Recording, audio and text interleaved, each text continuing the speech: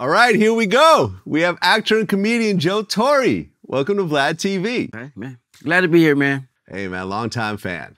Thank you. longtime Thank you for fan. that. Watch your movies, watch your stand up, everything, man. Congrats on being being in the business for this long. Yeah, it's three decades, man. Three decades. Plus, yeah. Absolutely. It's your first time here. I want to start in the very beginning. So you were born in Newport News? Yeah.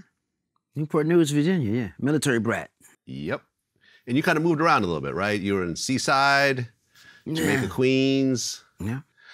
and uh, so your dad, your dad was in the military, right? Yeah. Army. He's an army.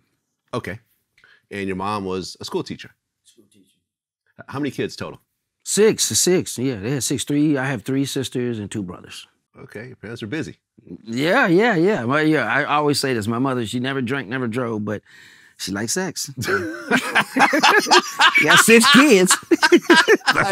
she must. She must. You know, born in 1937, so you got to keep the house warm somehow. Got to be motivated. And- and where are you, like in terms of the order?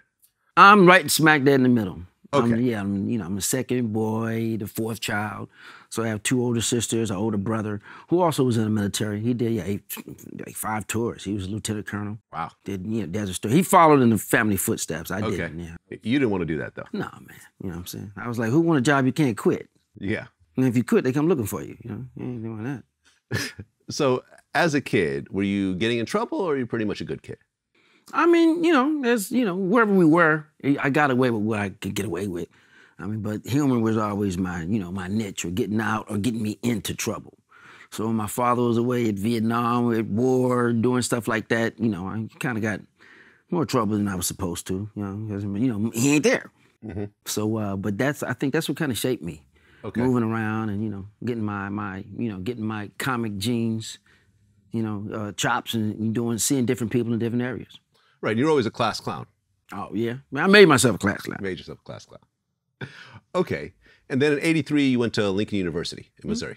Yeah, Okay. And uh, you majored in mass communications and broadcast journalism. yeah, yeah, yeah. And you were also in a fraternity, And fraternity, which you still hold hold high to this day. hold high to this day, And the fraternity is Oh, Omega Psi Phi Fraternity Incorporated, man. Yeah, yeah. uh, okay. To the day I die. How important was that during the college days? I mean, that was real important uh, as far as because I didn't want to go to college. You know, I wanted to get back out to LA, make it big, and I was, uh, you know, I was you know, a wrestler, so I went to college on a football wrestling scholarship, Mm. and uh, you know, real good. You know, did it, but uh, you, anything you can use to get you, you know, to Hollywood, get you where you want to be. Um, that's what I kind of did. But I always saw this fraternity um, doing these parades. These black men always hopping and doing different things. Or when I went to state championships, my my sister who was a big uh, she's a big school teacher, big track star. She's she's a legend. Used to run against Jackie Joyner Kersee, Flojo. She's been so she used to sneak me into the University of Missouri, and I would see men of Omega just do their thing. But I was like, these are educated guys, but they're a little wild. But they bring education back, and they was always in the community, helping out. Now, wasn't there a situation in college where you got arrested? I arrested a bunch of times in college. Really? Yeah. For what? Wasn't, wasn't because of the frat, just as I was young and drinking and coming from St. Louis and, you know, didn't have a curfew. so mm. I got caught in a lot of, you know, disturbing the peace or disorderly conduct. You know, just little fights or little stuff that you learn when you're not away from home. Mm. You can't do this. So, yeah, Did the police show up at one of your classes looking for you? a lot of times. Lots of times. okay. Yeah. Did you actually do any jail time or was it just a little slap on the wrist type stuff? no, I did some jail time. I did jail time. Uh, you know, they used to let me go to jail sometimes on the weekends. They'd work with you. Yeah, it worked. I, I knew the lieutenant governor. I was a football team. I was like, I gotta go to work. I gotta go to school during the week. So weekends check in on, you know, Friday at six o'clock or twelve o'clock and get out on Sunday at twelve o'clock, six o'clock. So you had to repeat that. So if I owed twenty days or fifteen days or whatever stuff like that, but that was my first time. That you know, I, I didn't let my parents know about that, but yeah, Okay. Well, they know now. So, yeah. so just a little slap on the wrist, little. No, it was slap on the wrist. I mean, that's you in the tank with, you know, nine grown men you don't know. You disturbing the peace, You're a little drunk, maybe got in a little tussle, and now you're in there with somebody who did murder or, you know, raped somebody or killed somebody. They're facing 20, 30 years, and you waking up, you know, with, you know, your clothes don't fit you. Hmm. Don't, you know, you did- taking your underwear, they're taking your socks, they're taking everything, just throwing your stuff. So you waking up, seeing people with toothpaste in their hair, or you know, chewing gum, you know, messed with them, or they they shaving, or they or they don't even go to sleep. Hmm. Yeah, so it was it was a it was a real you know awakening to like this ain't where you want to be, bro. Oh yeah, no. I remember the first time I I got arrested and went to jail. Just a little, you know, Little little weekend overnight? type stuff. You know, like they're having seizures in my cell, and you know, you're going cell to cell and talking to people who are facing, you know, 20, 30 years. And Yeah. you're like, man, hip hop's been lying to me all these years. There's nothing cool about about jail. One bathroom with ten guys Yeah, in the tank, and you you and no door. right. You right there. okay, so you graduate college. yes. This was 87? Yeah, 87, in 87. I really, was, you know, well, 88 I walked, but in, into 87, I, I was in a terrible car accident um, during the summer of 87. So yeah, yeah, so, uh, and it's real because it's, uh, you know, it kind of changed my life a little bit more. So I had to come back and walk, but yeah, 56 stitches and 56 stitches. 56 stitches. But a friend of mine, um, one of them, one of one of them right now who had the worst injury, he just made federal judge um, out of East St. Louis. But he was in that car accident with me that uh, he had the worst of it. But now, you know, yeah, that was some things, you know, some terrible incidents that happened coming from the University of Missouri, drinking and driving, and you know, and uh, and the sober driver, he's the one that fell asleep. Oh, he fell asleep behind the He wheel. almost killed all of us. Yeah. So. Wow. Okay. Well, you graduated 87, 88, but you started doing stand up in 89. Mhm. So, what led to you actually going to an open mic? Well, I'm, the first person I ever saw in my life that I wanted to be was Sammy Davis Jr. Mm, okay. You know, he was, you know, when I saw on TV back when they just had three channels, he was the only black person I knew that did everything, and he was on every person's show that was white or had a TV show. And he would, you know, he'd kick it with the best of them. He knew comedy, he was doing directing, he was acting, he was, yeah, I see him like, wow, I want to be that, that, that little bad black man is, is amazing, and I want to get inside that television. But I was like, Rhoda, I know I didn't have that much talent as Sammy, so I just focused on what worked for me, which was comedy. So using what I had, you know, for the years, I just took that on stage and been a military brat. That's very funny. Uh, okay. So, your first stand up, I mean, the first time you took the, you know, you know, took the stage in an open mic, did you do well or did you bomb? First time I took the stage, I bombed. Okay. But it wasn't really a bomb. You just weren't that funny. It was, yeah, it was a sit down comedy. it was, it was I I was funny in college because my gift is just off the mm-hmm. top of my head. Naturally, just talking stuff. When I just come off the top of my head and I talk about stuff that I did in college, but when I had to put it into an actual act when I got out of college and, you know, like it's beginning, middle, end, people got to laugh. You have to affect more than just the people in front of you. Mm-hmm. And it was about a cat that I had and I put in the microwave. And Okay. I sat down and told the story, and it was like, okay, People were shocked. Like, what was that? so the, next comedian, I'll never forget it. He was good too. His name was Percy. Percy I think Percy Taylor. He was he was popping back then, and um, and I saw him. He got up and he did a whole bit on how I was not funny. How I don't know. At first, it's called stand-up comedy, not sit-down comedy, because I sat down and told it like I was giving a monologue or something. And uh, you know, it's like wow, because I, I, did totally opposite of what I was trying to do, and um, and I never forgot that. So I used that as motivation to, uh, you know, to get back and get my chops right. And that guy has opened for me like lots of times. okay. So, at what point did you decide to move to LA? I always wanted to move to LA, but that was uh, in '89. I had to go back and save my money up. Okay. So, it was the same year you started doing stand up. Um, well, I started in college, but I, you know, I Oh, say okay. you I don't, see what you're saying. Yeah. you don't really start stand up until you start making money. Mm -hmm. And so I moved to LA in '89, got there in March of '89, uh, met the late great Robin Harris, became good friends with him. He took me around a couple places. You had the Birdland, you know, um, in West that was in um, Long Beach, TK Kirkland. He was running that. Um, and subbing for him was DL. DL was kind of subbing in for him. So, but TK and who had the biggest names, the first person I saw was TK. Right. And I was like, wow, this is LA comedy? he was out of control, Yeah, he's serious. serious. He's a regular on my show. Yeah, good friends with TK. Yeah. But then I seen Robin Harris. And I was like, oh, wow. Now, this is comedy. And I felt like Fred Flintstone because I came with my little, you know, St. Louis attitude. And I was trying to heckle Robin Harris, and he made me feel like Fred Flintstone when he got that small. He took the whole audience and turned it on me and talked about me. And that was another thing that I used when I got to LA. It's like, I got to be that guy. Do you remember how he clowned you? Oh, yeah. What was he saying? Because he, was- he was talking about some, something, and I said, oh, shut up. You don't know. And he just snapped his fingers. Everybody got quiet. Everybody said, ooh, you don't know. and I was like, what? And my friend who I was sitting with, who invited me there, who was from St. Louis, I looked up to him because I dated his, well, I didn't date her, I went to school with his sister. We were little boyfriend, girlfriend back in grade school, but he was a big time guy out here. And he was like, man, dude, don't say nothing to him. You're gonna get us all killed. And Robin just focused on me, and that spotlight got right on me. And man, I started shrinking. And before you knew it, my feet were swinging, and I just wanted to run out the club. And uh, you know, I never forgot that. But we became best friends. Well, I've actually heard the story from other people as well. Like, for example, um, Faizon Love said this one time he was at a comedy show with, with Robin Harris. He was wearing some red boots, Ooh. and Robin went in on him so bad that he went in the back and threw those red boots in the garbage, Threw him away. threw them away. and I had some red shoes on, some red boots.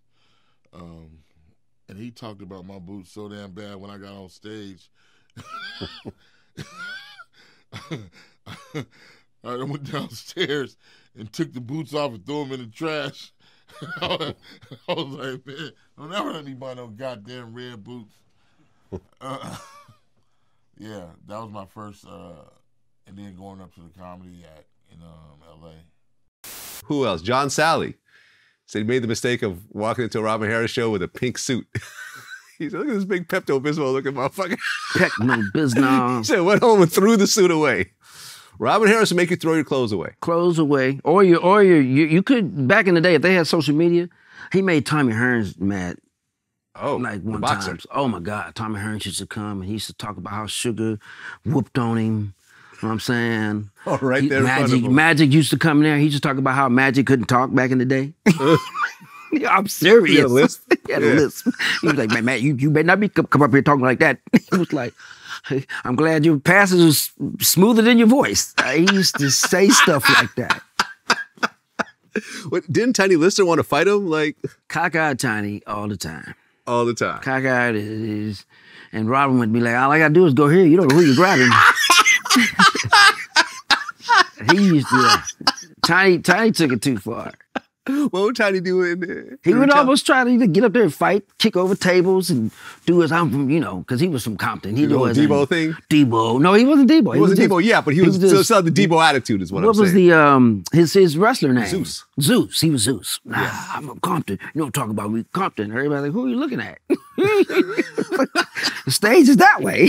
so he tried to, the time he make it to the stage, Robert would run through the audience sometimes, like, hey man, because he would try to choke him out or something. But Uh. yeah, it was yeah, those are good times. God rest Tiny yeah, one, of the best. That, well, DL used to come to the show, but I guess DL and Robin didn't really get along. Nah, no, no. DL didn't come when Robin was alive. Okay. Yeah, because they didn't get along. Yeah, What was that Robin. Robin, Robin was known for knocking your ass completely the fuck out. He didn't care. Pistols, well, he whooped everybody ass. It's about you talking about. He, he, he puts he put him down. I could name names. He didn't care. Um, and if you stole his jokes or you got into it with him or something like that, he was, you know, Robin was about that life.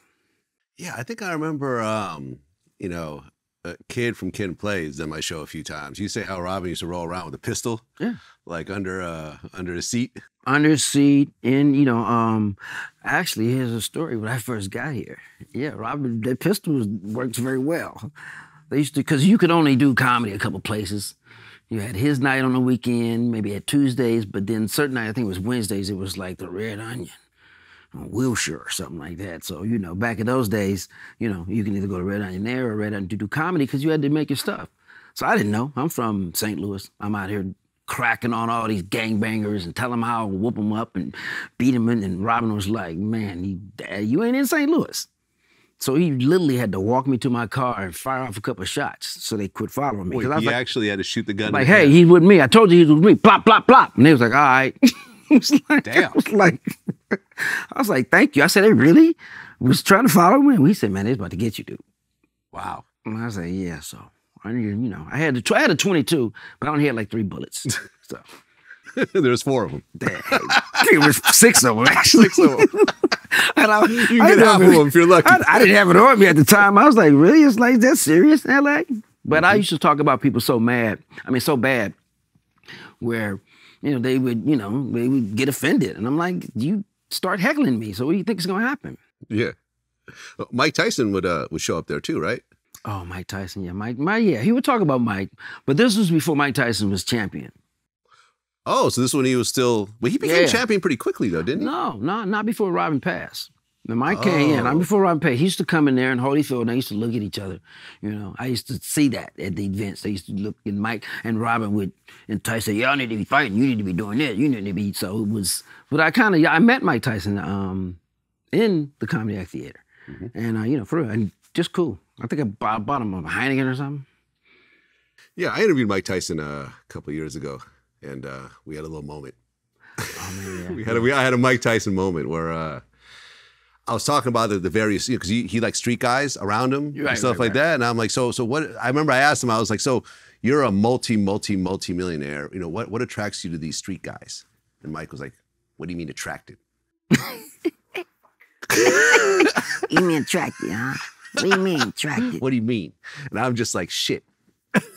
and we're doing the interview in an actual boxing ring. And I'm like, he's right there across from me. I'm like, my security ain't gonna make it in time if he lunges No. at me. Like this, this is really getting kind of real right now. Zip was kind of the go-between between like Puffy and all the Southside Crips. Maybe. Um, you know, what is it? You know, here you are, this multimillionaire, and you know, it seems like you've always been attracted to the the guys that are still in the streets to a certain degree. Do you think that's a, a fair statement? You think I'm attracted to them? Well, not attracted to them, but I mean, you like having them around. You- You're friends with them, and you You maintain. think I like this. having them around? I'm just asking. You think I like? You think I'm friends? What do you think? You think I like having them around? Don't know. You just spoke nicely about Zip, so I just thought, Yeah. Um. You know who got? Know, know who these guys are? When you talk, what do you say about me? I'm this big, whatever I am, right?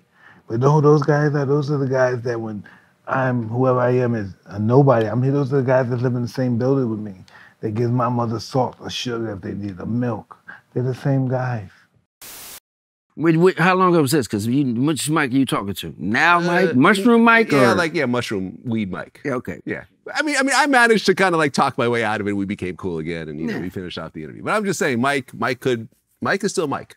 Yeah, yeah. I used to, I used to be Team Tyson. I used to Vegas and see the fights and be on the T-shirt and meet the whole crew. And went through that whole '90s thing. Went and visited him when he was locked up. He made me wait a couple times. I'm like, come on, what are you doing in there? I drove three hours. Well, your first show, uh, it was a Buddy Lewis show, and Jamie Foxx was opening Yeah, for Buddy, yeah. and this was Jamie was like first, first, first starting. Ja- Jamie Foxx uh, and, and Buddy Lewis, good friend of mine. When Robin Harris passed, I kind of took over the Comedy Act Theater. So I was taking comedy back into HBCU schools. My Lincoln, I went to Lincoln University, historically black college. So uh, yeah, they was like, bring comedy. Can you bring something back here? You big in LA, bring it back. So we were the first um, homecoming show. That's now a lot of homecoming shows are you know that black colleges have now. But it was Jamie Foxx and Buddy Lewis and Jamie open for Buddy. I paid him like three hundred dollars real, which was he that was his first road gig.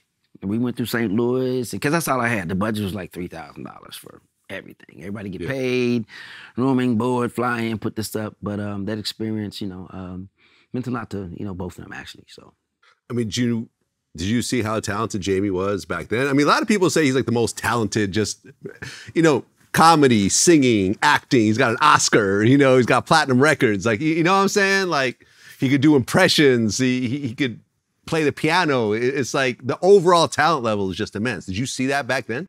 Uh, yeah, we because we hung out like that. Jamie was he's talented, but not only just talented, just like some of these young cats out here now. He talented and he wanted to learn, but he was trying to hone all that talent into okay, what make what gets me on stage? Because back then Tommy Davidson had the impersonations, the singing, the dancing, all that stuff wrapped up. No, but but Jamie's an athlete too.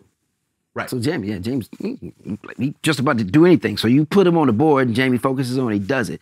But then, you know, we were like, he was. I wouldn't say he was my student, but we all hung out like students, um, sharpening each other's iron every day, trying to get on stage. And uh, yeah, I even got him his first agent. Nice. All that. Yeah. Nice. Well, in 1990, Robin Harris died of a heart attack. He was 36 years old. Yeah. I mean, he had just done House Party, and uh, I guess he was going to do Bebe's Kids, but he didn't. He didn't actually live. What did he die from exactly? He was attack. 36. It was a heart attack. Yeah, he had a. He, his probably his, his family had like heart issues. anyway. Oh, okay. So you know, but um, the way Robin was pushing it, I mean, he was handling everything as the next black comedian through the door. He had TV deals on the line, he had movie deals on the line, he had the animation project. Hmm. He had he had like five or six deals. But at the same time, he was trying to change his life. You know, he was, you know, still married, still had his, you know, his two kids, but working around the clock. He would literally go from, I used to cover for him. He'd sell out Mavericks flat around the corner from the Comedy Act Theater and, you know, in South Central. And then he'd sell out that one and he'd be back and forth. And then he'd be coming from the set of Harlem Nights and going back and doing another show on the road. And, and it was like, wow. And it was that he was the first person I saw as far as knowing how to be a star, but having a family and trying to handle it. And I think the stress was too much. Yeah, man, quite a quite a shock when you heard the news. Yeah. How did it affect you? I mean, it hurt me, stopped me. I mean, in my tracks. It was the same weekend. I never forget that weekend, March 12th, um, 1990, 1999, 91.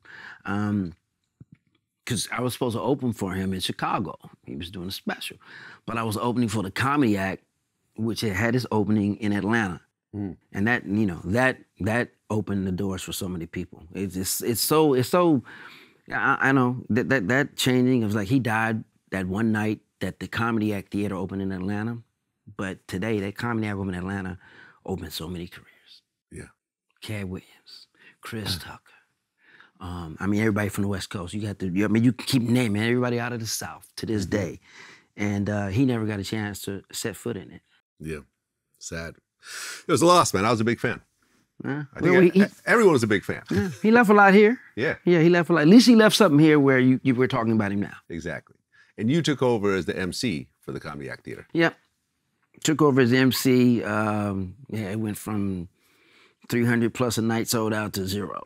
It's like 15 people coming. So uh, my my people who helped me was Buddy Lewis, the late great Yvette Wilson, and Jamie Foxx. And we kind of rebuilt it all the way back. That's how we got so good because we had so much time to like, okay, do in between comedians instead of being two and three minutes on. We had so much time to hone our act. So by that time, the DL started coming around. It got it, its energy back, and um, that's that's how we got on. We was able to create um, situations where the big time agencies would come down and see us. Well, uh, it was there that you met John Singleton. Yeah. And you guys were like the same age at the time, right? No, no, no. I'm Was he? 57. John's younger than me. He's a little bit younger than you. Okay, a so he was even younger than you. Yeah. And uh, was Boys in the Hood already out by then? It wasn't out, um, but I met John. eh, almost the same area I met Mike Tyson in at the Comedy Act Theater, the back of the Comedy Act Theater, back by the bar where, you know, and he was corny, had his little glasses on, talking about he's gonna put me in a movie. I was funny. Um, cause he saw me in an improv group. We used to do this improv group where we just were, you know, we can get up and be ourselves. And he was like, You're funny. I'm put you in the middle. I was like, Who, who the fuck are you? And he was like, I'm John. And, and I didn't really see him again until I came from the Strictly Business audition. Martin, Tommy Davidson, and then Robi Reed invited me over to a picnic, and he was in the kitchen. And he was like, Yeah, I just wrote this movie. It's doing good right now. It's Boys in the Hood. And I told him I put you in the movie. And I was like, You're the guy?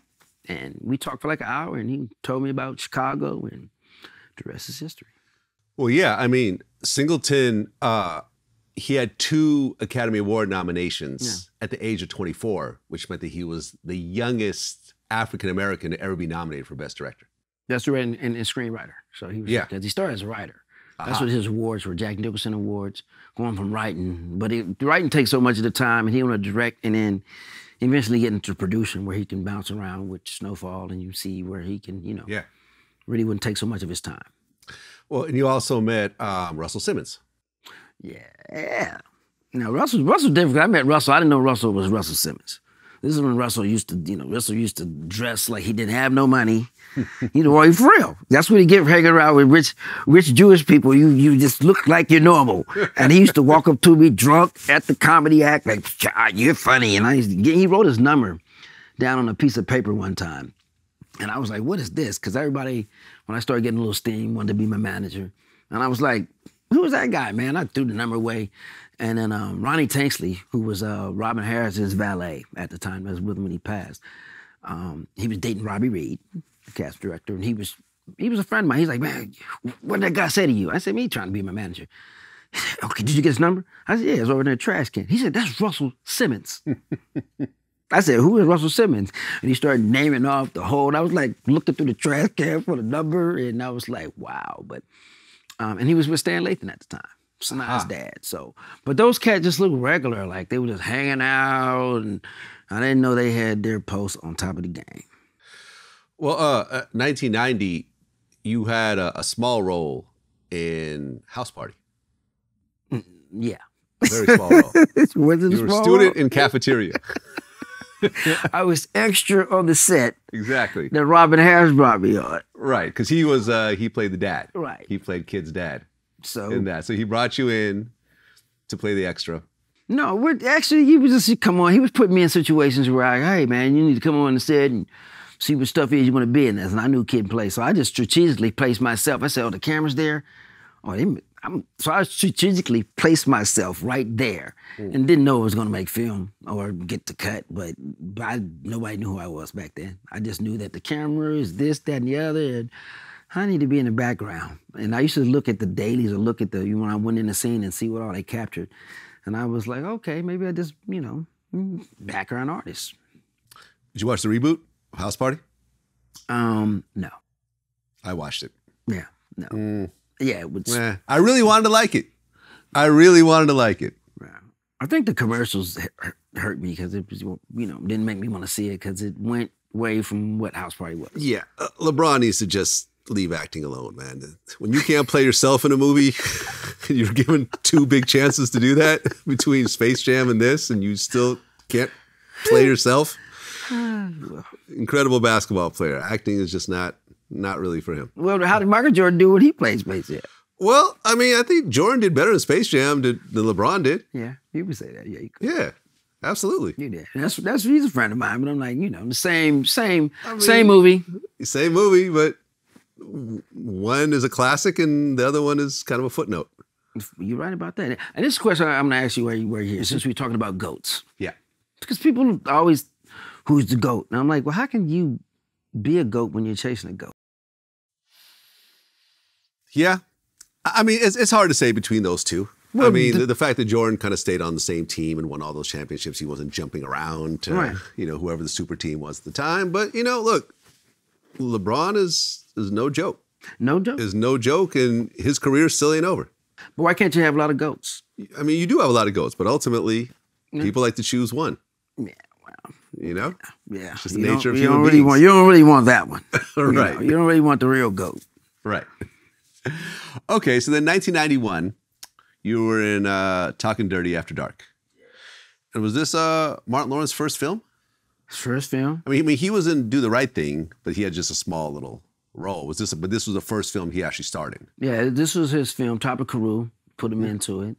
Um, he was trying to, you know, his first film, and I, you know, this film got me in, into the union. So yeah, talking dirty after dark. Right. You were in it. Uh, John Witherspoon, rest in peace. I did his last interview before he passed. Yes, Very sad, man. I was such a huge fan. uh, he was. He was was one of the greatest man of all. Yeah, man. Uh, we went into the whole. I never realized until I did the interview with him that like Boomerang, which is one of my favorite Eddie Murphy movies, Mm-hmm. like all that mushroom belt and, and all that, like all of that was ad libs. Like none of that was in the script. Hey, They just threw him in. He went into wardrobe, found the mushroom stuff, and then just created a whole classic moment around it. John uh, had. He was. I mean, I guess at that point in life, he had got to a point where he found all the right roles that were perfect for him. Because I mean, we both read for Uncle Ruckus. And I was, Oh. you know, and I was like, I was like, I can't be that Well, black. he, he wasn't Uncle Ruckus. He was Granddad. No, granddad, whatever. The, yeah, the granddad. granddad part. He Yeah. was. He. I said, man, I can't. I was like, he was. We were in the same voice session, And I was John was giving it, and I was like, "Whoa, I, you know, really? You want us to go there?" And they were like, "Yeah." And I, I, I couldn't go there. And John was comfortable just talking and being in his world, and you really see him and every everything you see in him. And I was like, I mean, watching the master and working with masters like that, because that wasn't the only thing I was in with him. Sprung, um, and the jail scene, um, was another one. So, Yep. Yeah, I was actually in the Boondocks. oh yeah, yeah, that's right. That's right. I was one of the episodes. Remember they came to Vlad TV when uh, Thugnificent was beefing with the, the Soldier Boy character, Sergeant Gutter. yeah. And uh, yeah, man. That was show. a that was an era that was an era. where you could go there. Yep. Now it's like, Nope, can't say that. now it's like, yeah, I feel you. Okay, so John Witherspoon, uh, Tommy Lister was in it, uh, Mark Curry. yeah, Uh, but this film didn't do very well. I didn't know at the time. Yeah. I mean, it was you know, Rodney, the late great Rodney Winfield was in there as well. Um, a lot of people was in there. Um, but I, I mean, at that time, um, for a black film coming out for Topper Carew, I mean, I didn't I didn't know it didn't do well. I mean, for because you you didn't know after that. You know, you did you just hey, I was in a black film. It went to the theaters, so you didn't count box office and numbers and stuff like that. Right. You're also Strictly Business That, that, was right year. after that, That one did well. I did very well. Yep. Tommy Davidson, Halle Berry, Yeah, Kim Cole, Samuel L. Jackson was in it. yeah.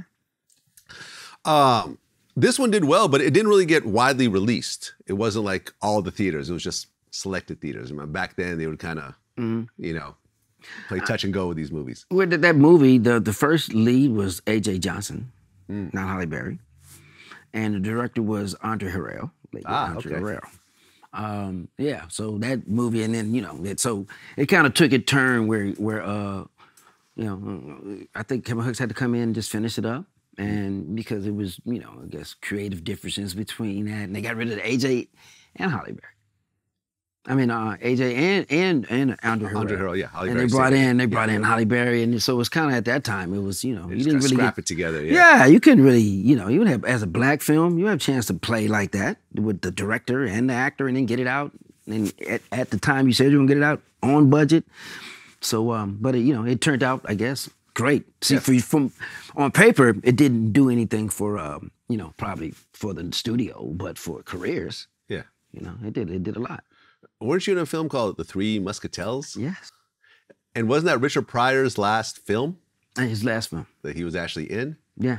And did you actually hang out with him on on set and get to Yeah. know him a little bit? Yeah, that there Three Muscatels. Uh, that was Flynn Pryor, his his next to last wife. I think he married Flynn twice. Um, his seventh wife or something like that. But Flynn, he had two kids by her. But yeah, we also did a concert uh, in in Atlanta, and that's how I met Richard Pryor. Richard Pryor was one of my biggest idols, and I used to I used to go sit by the edge of the bed with him when I got back. Um, off tour on Monday nights when he lived off Moraga Drive and just sit with him on Mondays and Tuesdays when he was really going through his uh his you know his his his his, his disease and it was like yo and it for real and he used to give me he used to real he used to give me the real um because his wife was in Atlanta so she was Jehovah's Witness and she was living there and they built the house and all that but um, yeah that movie Three Musketeers which he financed and financed and financed I learned a lot and uh, you know I was in the right place at, at, at the right time man like you know, and, and learned a lot from some, you know, from the heroes.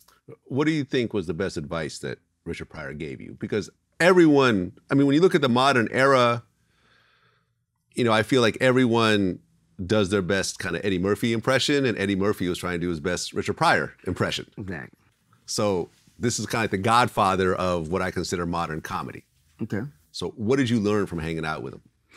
Well, at, at this state, I learned he he gave me, you know, information about my business. You know what I'm saying? As far as, you know, you know, him and Clarence Williams III.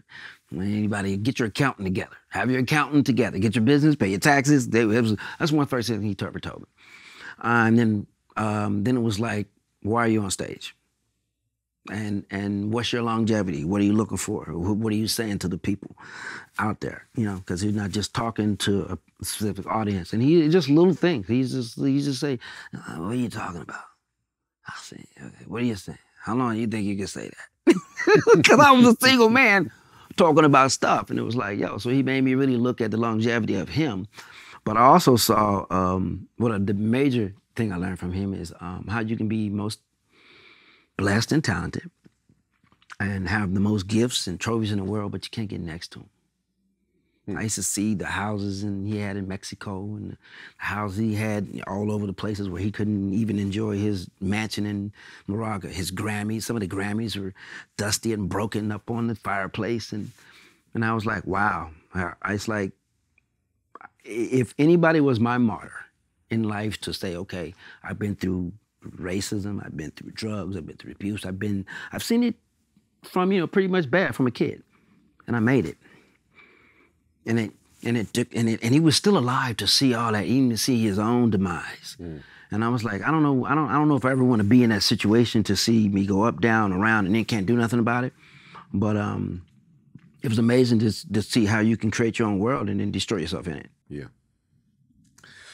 Well, in 1992, you were I think 27 at the time. That's when you got your big break, which was hosting Def Comedy Jam because Martin Lawrence had left the show. Yeah. Why did Martin Lawrence leave? Martin, it was it was it was time for Martin to leave Def Comedy Jam. Blowing up and Too big, and it was it was too much. It was too much pressure. He we were taping. He was taping like five shows, like um, in the weekend. So every, every time he came up, it was five shows a day. So if we if it was the season, he'd be taping like from you know nine in the morning, to like nine to the night, and then going back and doing the movies and doing Martin and coming back. And then it was too much where you, you don't want to burn yourself out because you know back then you, you you either did movies, you did television. You didn't really put all that together. You either made your money on the little TV, or you made it, or you're a movie star. You're a television star, or you're a movie star. You do commercials, or you do this. So it was like, but when cable started getting more, you know, popular and people started having it and the way to go, it was like, okay, how do you, you know, challenge both of those worlds and, and fit into them? And he was at a good place at a good time where he made them fit. But it was, you know, it was challenging. I mean, Martin was a hell of a host. So you had very big shoes Yeah. to fill. I mean, was there a little bit of hate in the beginning where it's like, oh, we miss Martin? Because I mean, like I said, like he was so dynamic Yeah. in that role, and now you have to fill those shoes. Was it hard at the beginning? Um, no, I mean, not being, you know, cocky about it, but it wasn't hard because slid, I, right- slid right in. I thought I should have the job before Martin had. Ah, there we go. So it was, you know, to me, I was like, Martin's not a host. Because Robin Harris had died. Robin was supposed to be the first host of Def Comedy. Oh, he was supposed to be the Yeah. first Def Robin was a comedy. host. Oh, So when I used to see Russell Simmons and Don Cherrell um, down in Atlanta at the Jack the Rapper, you know, uh, that whole little thing, they used to ask me who was the next one, who you think is the next one after Robin died. And I was like, it's me. But at that time, wasn't social media, it wasn't um, anything you had. You had to go with what the people knew. And Martin had uh, made some appearances on uh, the big that big national show. Um, what was it? Got the big show that uh, that's like you know um, be a star now, whatever it was. Star Search. Stars. He was Star Search. He had some moments on what's happening. And he had a couple of appearances in the movie. So it was like, yo, who are you? I had nothing out there but maybe Apollo. So, uh, and then Jamie Foxx. So I was like, hey, there's nobody, nobody funnier than me and Jamie right now and then me. So when Martin took over, it was like he he surprised me because I thought Martin couldn't be a host. I thought he was more of a, just a he's a comic that couldn't stop and break his jokes up. Mm-hmm. But when he did it, I just learned. Okay, we we both learned from Robin Harris, and I was like, man, we helped each other. Robin Martin Lawrence is a good friend of mine. Like we used to, I helped move when he bought his first, got his first check, and went and bought his new truck. Went and picked up his girlfriend. I was there with him. We mm-hmm. rode down to the hood and seen him. Yeah, I was always always that that guy. I helped him move a couple times. So it was like we, we it was love. It was never no hate. Well, by that next year, 1993, John Singleton, who you had met earlier, he had kind of blown up with Boyz n the Hood, and he was getting ready to do his second movie, Poetic Justice. So he approached you as the role of Chicago. Yes. Uh, and I guess Ice Cube was supposed to be was supposed to have Tupac's role. Right. No, no. Um, yeah, I think he. Yeah.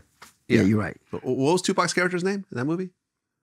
Um, um Justice. oh, come on, it was um, Lucky. Lucky. There we go. Yeah. Okay, so Ice Cube was supposed to play Lucky, Right. but Tupac got it. What was was there? Do you know why? Because Well- because they'd already worked together on Boyz n the Hood. But um, I think from what I heard, and John was a real G. John didn't take it. Um, I think he was telling me that John, that Cube wanted to change the characters up a little bit. Huh. Kind of wanted to play my role. I'm saying because it was a love story, and I don't think he was trying to take his career that way. Yeah, you're right. I don't think he's had any love type roles. Exactly. Really ever. So thank you. Yeah. So he was wanted the more, uh, you know, aggressive role, which was mine. Right. But that it was a love story. So my role wasn't aggressive. I just, you know, had gotten to it with her in one scene, but he wanted to change that whole kind of character to where it fit more where he was going. And John was like, "That's not the movie. It's not the script." So, I, and he said that you know Cube wouldn't call him back, and he wasn't returning phone calls. He wasn't, you know, he was whatever they had disagreement. So it was like, yo, Tupac was next up in line, and I was like, who's Tupac? He was like, oh, Juice, and this. And I was like, and man, boy, did that work because, I mean, come on, Tupac is a great actor, man Yeah. and uh, that that that whole I think that whole anticipation of what it could have been made everybody uh, you know get their chops up. Well, you've said that Tupac is a better actor than Ice Cube. Yeah, he's a better actor than most anybody, most rapper, any rapper ever lived. I mean, you name Yeah. you, no, you name a better rapper. Now that. I think about it, yeah, come on, who is a better rapper actor? than Tupac, and he didn't even get into his chops I mean, yet. Will Smith, you could say, is pretty good. He's got an Oscar. Just got an Oscar. Just got an Yeah, Oscar. he- he had more like chan- 50 years to get Had, it. had more chance. Fifty years. Fifty years. But I mean, but he's Will Smith. Yes. And everything except for maybe Muhammad Ali. That's Uh, mm, I Am Legend was kind yeah, of. yeah. bit well, a, I, I'm, I love I Am Legend. Yeah, And- and of yeah. course, but you he wasn't acting with nobody. Yeah, you're right. He's by himself with a dog. dog and some Right. monsters. It's a bunch of monsters. I mean, well, and, and of course, he he did a great job playing uh, Venus and Serena's dad, Oh, he which he which he won the He Oscar for. He was great. Yeah, you're right. Yeah, Take that back. He was very, very. It really impressed me now. yeah. Although I think that Pac, if given a chance, he could have uh, actually developed his acting into more into more roles where it's not just Tupac, Well, that's where he was going. Bishop. you know, it's a lot of people didn't know that's where he was going. He's an actor first. Oh yeah, no, I remember um Edie uh, from the Outlawz, who, who I'm friends with, told me that before Pac died, I guess he was being offered the role in Independence Day that Will Smith ultimately got. Mm. And he was basically like that last album, you know, like the Makaveli album, he was just going to give that away as a free mixtape because he was like, man, I'm cool with this music shit. I'm just going to go, I'm about to be a big action star, a huge budget movie. Because, you know, he had done films, but they're all somewhat smaller films, you know, Juice, Poetic Justice. Like he hadn't done anything on the status of an Independence Day yet. So he figured, okay, I'm going to get this role, I'm going to kill it, and then I'm just going to be a full time actor and the hip hop shit, I'm just going to, you know, put behind me. Right, because he, he had a bunch of different roles. I mean, he was in Gridlock'd, Gridlock was where he played a drug addict. played drug addict. Played, uh, I mean, uh, very different. You didn't see Tupac at all. You saw, Yeah. uh, you saw in an addict. You saw a friend. You saw, um, you saw his acting chops, and I think that's where he was trying to go. That's when we last spoke. He was trying to do that. He was going to direct, produce, Yeah. and go in that direction. Um, and uh, hey, Right. I mean, Janet Jackson was yeah. essentially the star of the film. yes, She was the biggest movie star, well, celebrity, period, yeah, in, in the film. Uh, and of course, Regina King, Regina King. Who went on to just. two beautiful Kill it. queens. Yeah, two beautiful queens in the film that they've been doing that for a long time. They all three of them had been acting since they were like twelve. Yep. So And I guess like uh, Pac turned 21 while you were filming. Yes. And that's when we got the thug life across the stomach. And these days, having your body tatted up, having face tats is like regular. But back then, no one was really doing this, especially on, you know, you know, uh, black celebrities. You know, I mean, you see the white boys, you know, whatever, like the bikers would get all tatted up, but right. having a huge thug life across your stomach, that was considered like, whoa. Well, I, I don't know if it was was it fifty. It was fifty. I think it was fifty to fifty Yeah. N word or the thug life. I think it was a fifty N word at first. He had fifty niggas right there, for- and, it, and it was and I think we, it was small, but he had that as a machine gun, and it was like right in between the filming. And whatever tattoo it was, it was like okay, but you have a sex scene with Janet. in about a week or two, that wasn't there in another scene it Suddenly pops up. and it's gonna be bleeding, and it's uh, you know it's you gotta. I mean, it's coming. It's not even healed. It's not gonna be healed. right. He had a big white bandage. You can see the blood coming through it. It's like, dude, what do you what just happened? You got shot? No, I tattooed. Like, you, he was just doing young stuff, crazy stuff. Like, I mean, really 20 year old, 21 year old stuff, you know, like, and the closer he got to Oakland, the worse he got. Well, uh, uh, there was that story that uh, before doing like the the kissing scene with Janet Jackson, Mm-hmm. I guess Janet wanted him to take a HIV test. It wasn't Janet. Now, you got, you got Janet. You know what I'm talking about though. This Yeah. became a talking point. It became a talking point, but so many different stories from it, but you had to be there. So you had to look at it from a different perspective. all right. So um, yeah, everybody loved Pop when the movie first started. But we did everything. We were around each other for like 12 weeks. Three months. Twelve weeks. It Yeah. took that long to film it. Oh yeah. Wow. Yeah. We really drove every place and we rehearsed and we did everything. We were in each other's faces. Cabins and we were staying in hotels. It was great. And Janet was professional every time. She Came early, stayed late. She packed her stuff up, went to Bego with her crew or whatever. And you know what I'm saying? And they, oh, we need Janet back. She'd come back, set up, do it. Um, everybody was like that at first.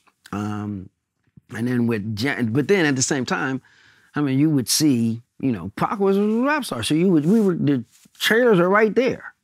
So you would see the different women that came in and out of the side of Tupac's trailer. He's smoking weed, he going everywhere to the set, you know, women and he banging girls in the set. He was just being Pac. So her crew looking at that were like, yo, anything happened to Janet, Janet come with like 30 people working with her. Mm-hmm. If she Janet ain't working, you're not getting a check. So at that time, AIDS was pretty popular. She caught a cold when she kissed Q-Tip mm-hmm. in one of the first scenes. Two days she couldn't work. They had to reschedule, shut down. Change scenes. That's a lot of shutting around. Like, but, but they got her better. And it was like, okay, she couldn't be sick and doing on film. But that was just a, in the first scene. So they looked at the at her and um, what she was going to be exposed to a little more when you saw Tu- Tupac just, you know, just having this way with women and being a young guy, and they were like, okay, you got a love scene, sex scene, all this stuff with her, and then and his attitude got you more, you know, aggressive and not showing up, and um, you know, and I think there was a rumor going around about, you know, he, you know, he, Tupac burned her or gave her something because women kind of knew he was hitting that one, hitting that one, that extra, so they probably would say something, and by that time it was like, yo, he need to get an AIDS test before we put all this, you know, into our investment. We put him next to Janet. So it wasn't Janet, it was more her people saying, you know, because she wasn't tripping. Janet was not worried at all. Janet was the perfect professional, and it never came from her. Yeah, I mean, John Singleton, I think he was on Drink Champs where he said that both him and Tupac had a crush on her. Who didn't have a crush on Janet? I know, right? what the hell are you talking about? What- what That was you- like the finest woman on earth. Like, I've had a crush on Janet since she was Penny on Good Times. Penny on Good Times, right. So what are you talking about? and she, I think she's a year older than me. No, you're younger than me. So Mm. Right. my, my crush is legal because she, I think she was nine or ten. right. And you said that, you know, when you guys first started filming, Pac was very professional, but as time went on, he would, I guess, disappear on weed runs. Yeah. Uh, I guess he almost killed you and John Singleton in a Jeep once. Well, yeah. Before we got out of LA, this was when he turned 21, and they bought him a Jeep Cherokee keep on his birthday, and we didn't know that John. I mean, that Tupac couldn't drive, so we just, you know, first couple weeks we were, you know, we instead of taking the, you know, the uh, vans back, we were like, are we gonna ride with Pac? Because they brought the car up to the set, and we were riding through Griffith Park, and he was man, we were almost into the park. he, was like, it was like you know how to drive. So they got they stopped the car and they got John, myself, and Regina out, and they was like, "Nah, you about to kill the cast. You can kill yourself, but you're not about to kill the cast in the first couple weeks." And that's when we knew that he couldn't really drive. You don't know that when you know when you jump in a car with somebody, you know, right after the set, and it's Tupac, and you're, you know, your friend, you're trying to be peer and hang out, and you didn't know they couldn't drive, especially through Griffith Park, if you up, down, and hills, and around, and yeah. Well, I mean, I got to watch the movie again. You know, I had to brush up. Oh yeah, brush, brush up, pardon- brush up, literally pun, brush right? up. Pun intended. you and that brush, the whole thing. Brush, I remember that that one argument that, that you and you and, uh, you know you and Pac got you know in the movie. It was just like you know you were clowning his rapping. He's like, motherfucker, what could you do? He's like, I could dress. Yeah. A lot of that shit, that shit was ad lib. That, shit was was an in there. ad-lib? Most of the shit, the shit that John used to let me just say some of my lines, especially when Regina and I were arguing at the at the thing. Mm-hmm. Um, some of those lines, "You ain't a beautiful motherfucker" and all that. Yeah, those were just made up. We were. oh yeah. No, I mean like the the argument between Pac and Janet. in the car before she, you know, Yeah, left. was- Which is like, fuck you, bitch. It was, I was like, yo, this is so real right now. That was not there because he was getting Janet was getting on his nerves. Really? Why? He was getting close to, o- to Oakland. Some of those things, his, Ah. he was getting bad. He couldn't get the weed he wanted. So they were. I didn't know they was making weed runs. I'm like, why is he gone? Where are we doing? He's supposed to go Mm-hmm. to dinner. But he'd be trying to go there and get weed and come back. And then you know, back then I don't, you know, I don't, I don't know if weed was good or bad. I wasn't smoking it like that. So I can understand if he was getting it, it was showing. And you know, we were getting frustrated with it. So when you saw some of them things, he was just showing up on set. Like we had been waiting for you for two, three hours. Wow. So now you coming up like, you know, now you got an attitude. Mm. So I used to let him have it. I used to talk about him so bad. You guys got in arguments. I mean, an argument. You just talk shit about him. Talk shit about He him, would take he- it. What are you gonna do? You're the one that's late, motherfucker. Slave, but I'm back then I was weighing like what, 195, Oh yeah, you were kind of cocky. 370. Yeah. Though I know all my martial art. Come on, man. Come on, man. Come on. You now you're being disrespectful. Oh yeah, and that that argument between you and Regina King, when she was like, "That's the reason I'm fucking somebody else." And then you know it's just like the, that long, long pause where I think you finally put that brush in your back pocket for the first time in the movie. You just went whap. Now, little little insight about that. Okay. That scene was supposed to be a lot quicker. Um, and the stunt man, great stunt man, um, he was Pac and I was fighting like we were in a cowboy scene, like in a saloon. We were fighting for like 10 minutes. He throw me over here, rolling, rolling, he was fighting. I was like, that's we're not, we're brothers. We ain't gonna be fighting out here, especially if nobody can bring it up. Somebody get thrown to the ocean. It's gonna be a this, that, and for real. I kind of it coordinated was on the a cliff, sort of. Yeah. Okay, yeah. yeah. So I was like, we're not, we didn't, we're not that angry at each other to be, you know, to it was just a moment we had. Um, so when, you know when that scene came along, I mean, I, they wanted to take it longer, and I was like, nah, I, I didn't want to. Pl- and that's the point about playing that character. I didn't want to come off like rap, just like a regular guy. Some of the strengths about me playing um, dark roles in comedies or dramedy or something is kind of bringing a little sensitivity in there because I, you know, I didn't want to hit her, but after I thought about it, I wanted people to process that I'm not a woman, you know, beater. But I mean, what man would take that, all the stuff she said, and then take the time to think about what she said, and then, and she would just steal.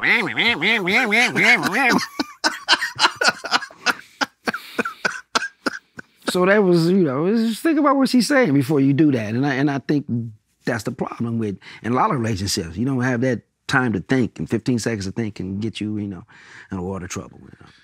Yeah. That uh, Janet Jackson kicked you in the nuts. about 15, 20 times. yeah, that, that wasn't. And that's funny because Take oh, eight. yo, Go hit those nuts again. and then yeah, and then it was like they was trying to get that scene, but Oprah came to see Janet during that interview. We were closer to Santa Barbara, so I think Oprah was staying up that way, mm-hmm. and she came on, and then it was like, okay, we got to get this scene, and Janet went, it was they got to look right because they get her and they get me and make it look right from her angle, and it was like, okay, but we got to get this in with Oprah, so. You know, can we come back after lunch? I'm like, so she kicked me another 25 times? yeah. So she was really kicking you in the nuts. Oprah was like, "It really hurts. Didn't look like it hurt." I'm like, "Yeah, yeah Oprah, that's okay. but you, you can have her." Let me go get some ice for my balls. Next? Next? that? Well, yeah. Right. And after that whole fight scene, you got left right there on the side of the road. I guess you're like, he said, oh, 15 miles from Oakland. So you had to walk 15 miles. 15 miles. and you were never seen from again for the rest of the movie. You know what I'm saying? That was it. It was just, just like, I mean, I'm waiting for you to come back in the movie and you just never come back. That, that, was- that, that was it. I, couldn't, I couldn't talk myself into another scene. I was No. like, can I show up later? On, outside? John, can I just? You know, I mean, hey, I, I, I stayed up there, you know, Mm-hmm. big, nice hotel. We were at, you know, San Francisco to finish that up, but that was it. And he did, people think he threw my, my you know, how did he get his brush back? He threw it in the ocean. No, he threw this. your hat, right? No, he threw my brush because Threw your brush. everybody liked when he threw the brush because they hated that brush, but he threw it up in the road. He couldn't, and I went and checked because I found it. Started brushing my hair again.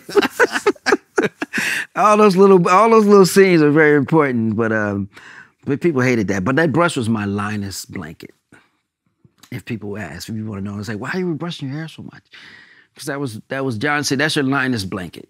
You know, when you when you when you about to lie or tell something you need to comfortable and you're arguing with her, you would go brush your hair. And but he got that. He said he saw me doing that um, hanging out with me before I went out. And he said uh, how I used to kind of, because I wore a little haircut like that. I used to just kind of just brush my hair. And he's like, you ain't ready yet in the mirror. So he kind of put that twerk into the Yeah. film. It worked.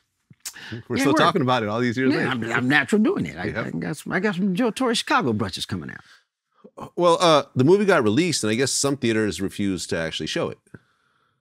Um, for real? I never heard that. Which ones Yeah. were that? Certain, certain theaters felt like, you know, they're worried about violence in the theaters and stuff like that. This was during the time that, you know, Right, right. It was right after. Well, if it was trying to emulate another, um, you know, John Singleton film where you know it caused that, but I don't, I don't. That one was, um, I mean, we had we we won our weekend with an amount of, you know, we won our weekend. So Yeah. it was like whatever it did, less we won the weekend. It did it. which was the number one thing to do. You got that phone call, bling, bling, bling. You guys are number one movie in the Nice. weekend. Good to be in. right. And I guess uh, Pac was supposed to be in higher learning, but he got kicked off that role because he had gotten arrested. And I guess the, the you know, the film company didn't want to risk anything. John was going to do amazing things with Tupac. He knew he, it was like that coach you find an actor. You know what I mean? You're Kyrie Irving, or, you're- you, or you find that, and it's like, what are you doing? Yeah. Don't mess us up right now. Yeah, like, De Niro, you know what I Yeah, mean? And, like, uh, come on, and Scorsese, yeah. man. Right, but but but Pac was Pac. Pac was um, Pac was real. He didn't want to live in that moment, and I did that.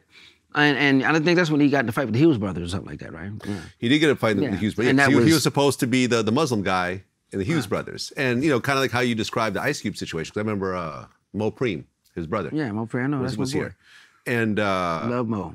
yeah, basically, well, Mo Preem talked about this and uh, MC Eiht talked about this also, where they basically said, like, when Pac showed up, number one, he was late once again. And then, like, when they were doing the reads, he was like, so what's the backstory of the guy? You know, can't we have him do this? And, you know, we should have him do this. And then, like, you know, the Hughes brothers, like, come on, man. Like, this is the script. You know, like, you're not going to change it around as we're already starting. He was like, ah, fuck that. And he just basically stormed out. I was like, fuck that film. And that was that. But they got in a fight. Yeah. Well, later. yeah, The so- fight came later during Yeah. well, Spice One talked about this during the filming of the Spice One uh, video for uh, Trigga Gots No Heart. Yeah. So, but he was his thing. And they sued him over that. Yeah, they sued him over that. But he was at that time. I to me, I mean, he didn't really. I don't think he really respected the Hills Brothers. Mm. Just conversation, and not as far as um, artistic value, but I can where he think they respected him, where he could take the film because he was kind of moved some stuff. So whatever they wanted him to do, that was their thing. But I know when he talked about it, it was like, yeah, I was trying to do this and blah blah blah. And I guess you know, um, I mean, because you know, would have they done that to Denzel? Or would they listen and say, hey, we can do this to that character? But at that same time, John wasn't letting Ice Cube change the role of that character. So, you know, it's either, you know, this way or the highway. But I mean, that's, you know, that's, you know, that's, that's, the, you know, that's, that's, um, I guess if you're trying to take control of your, character or, or should I, your career back then, Pac kind of knew some of the characters you wanted to play and how you wanted to portray them. Well, that next year, '94, uh, Tupac is shot uh, at Quad Studios. Mhm. Were you maintaining contact with him through this whole time? I mean, as much as I could. I mean, back then you didn't have, I think you did with pagers out then. I think so. Yeah. if, if you had one on the phone. But yeah, when he yeah, um, when he got shot, because I used to be in New York a lot. Mhm. So I mean, all that.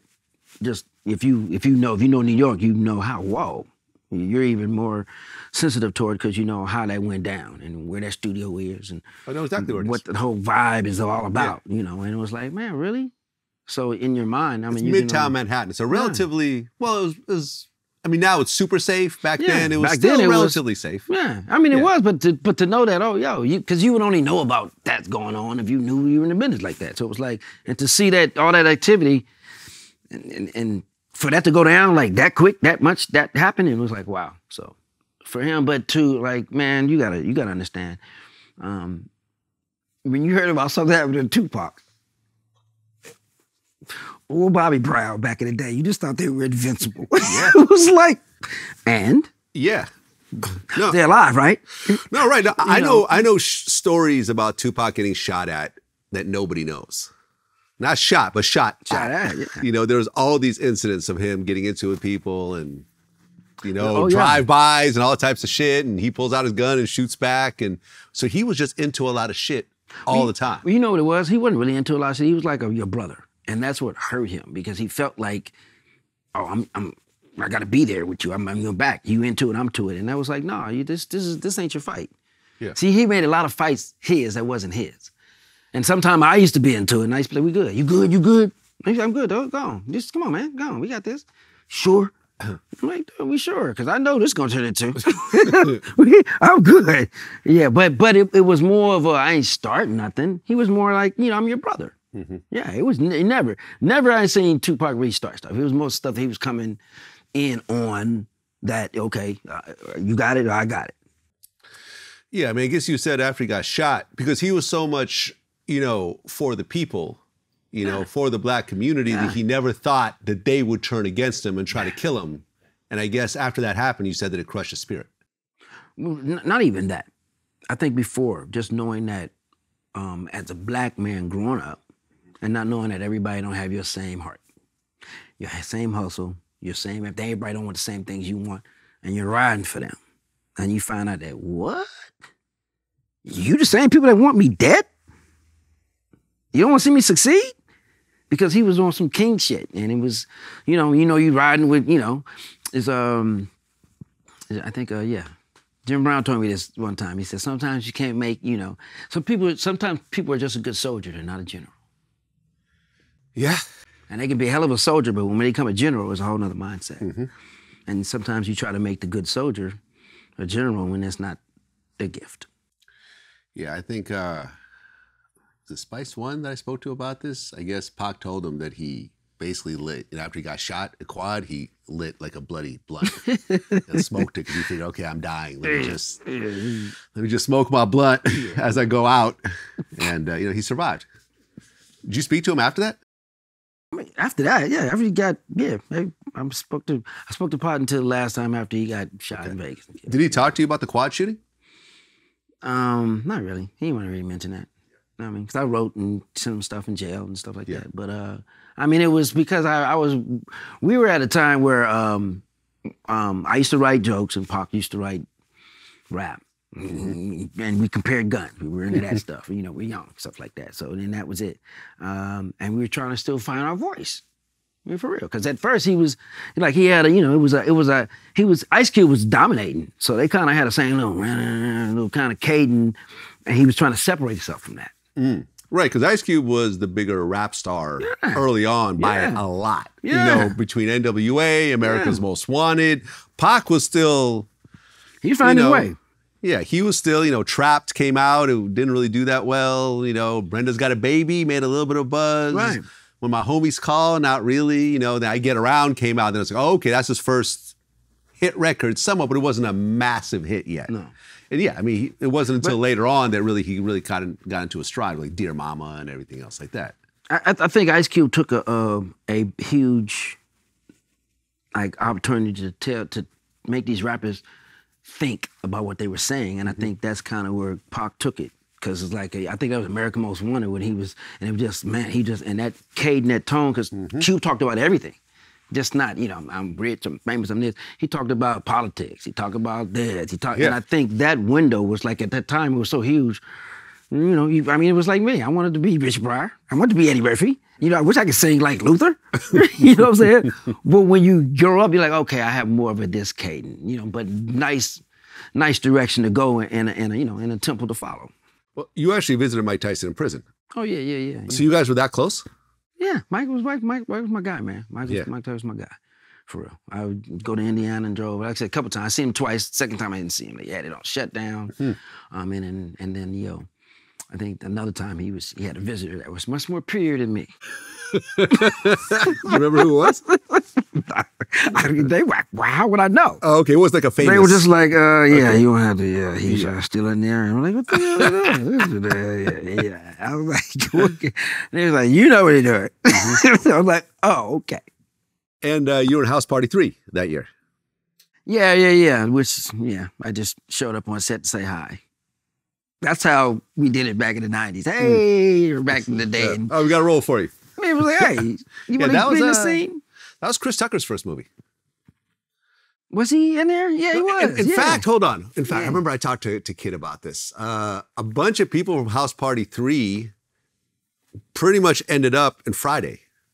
Like a lot of the cast ended up being in Friday, right? Because remember, um, who, who, what was the name of the girl? Uh, Felicia. yeah. By Felicia was played Angela the main. Angela you know, Means. It's a good film, exactly. yeah. yeah, played the main female role and, and, and all that. And like a lot of the characters ended up basically being in Ice Cube's movie Friday. The the um that uh F. Gary Gray and all of us when we visited scenes back in that day, you did that. Somebody was working, you went on the set. Well, you couldn't get on like Eddie Murphy set, you know, you know, night stuff like that. But friendly sets where you could oh walk up, oh they're filming over here in Wilshire and drive up and and you would and then next thing you talk about ideas and put ideas together because you would have some distributors there and you'd be working on your next project. Um, because John was always working on his next project. Rusty Cundiff was always working on the next one. So you would kind of meet and they would, hey, you know, you just that was it back. That that's how you got your gigs back in the day. You know, you showed up, you had somebody you, you support somebody's stuff, and next thing you know, you're in a movie. Right. And speaking of uh, Rusty Cundiff, the next year, 1995, you're in Tales from the Hood, Yeah. Yeah. uh, which is also uh, executive produced by Spike Lee. Yeah. Is that your first Spike Lee film? Yeah, Spike never showed up. Spike took the money and ran. I said, where we gonna meet Spike? Spike put his name on it. We had to go and sell movies and show up in his little Spike joints and do all the stuff. And I said, where's Spike at? Never Spike showed Purdue up, he huh? ain't never. He ain't went at the premiere. He went at the movie. Where's, where's Spike? He took half the money. thank you, Spike. Forty acres and a meal. Yep. It's good to be Spike. Where it's good to be Spike. But that's why I said, man, I need I need one of them Spike jobs.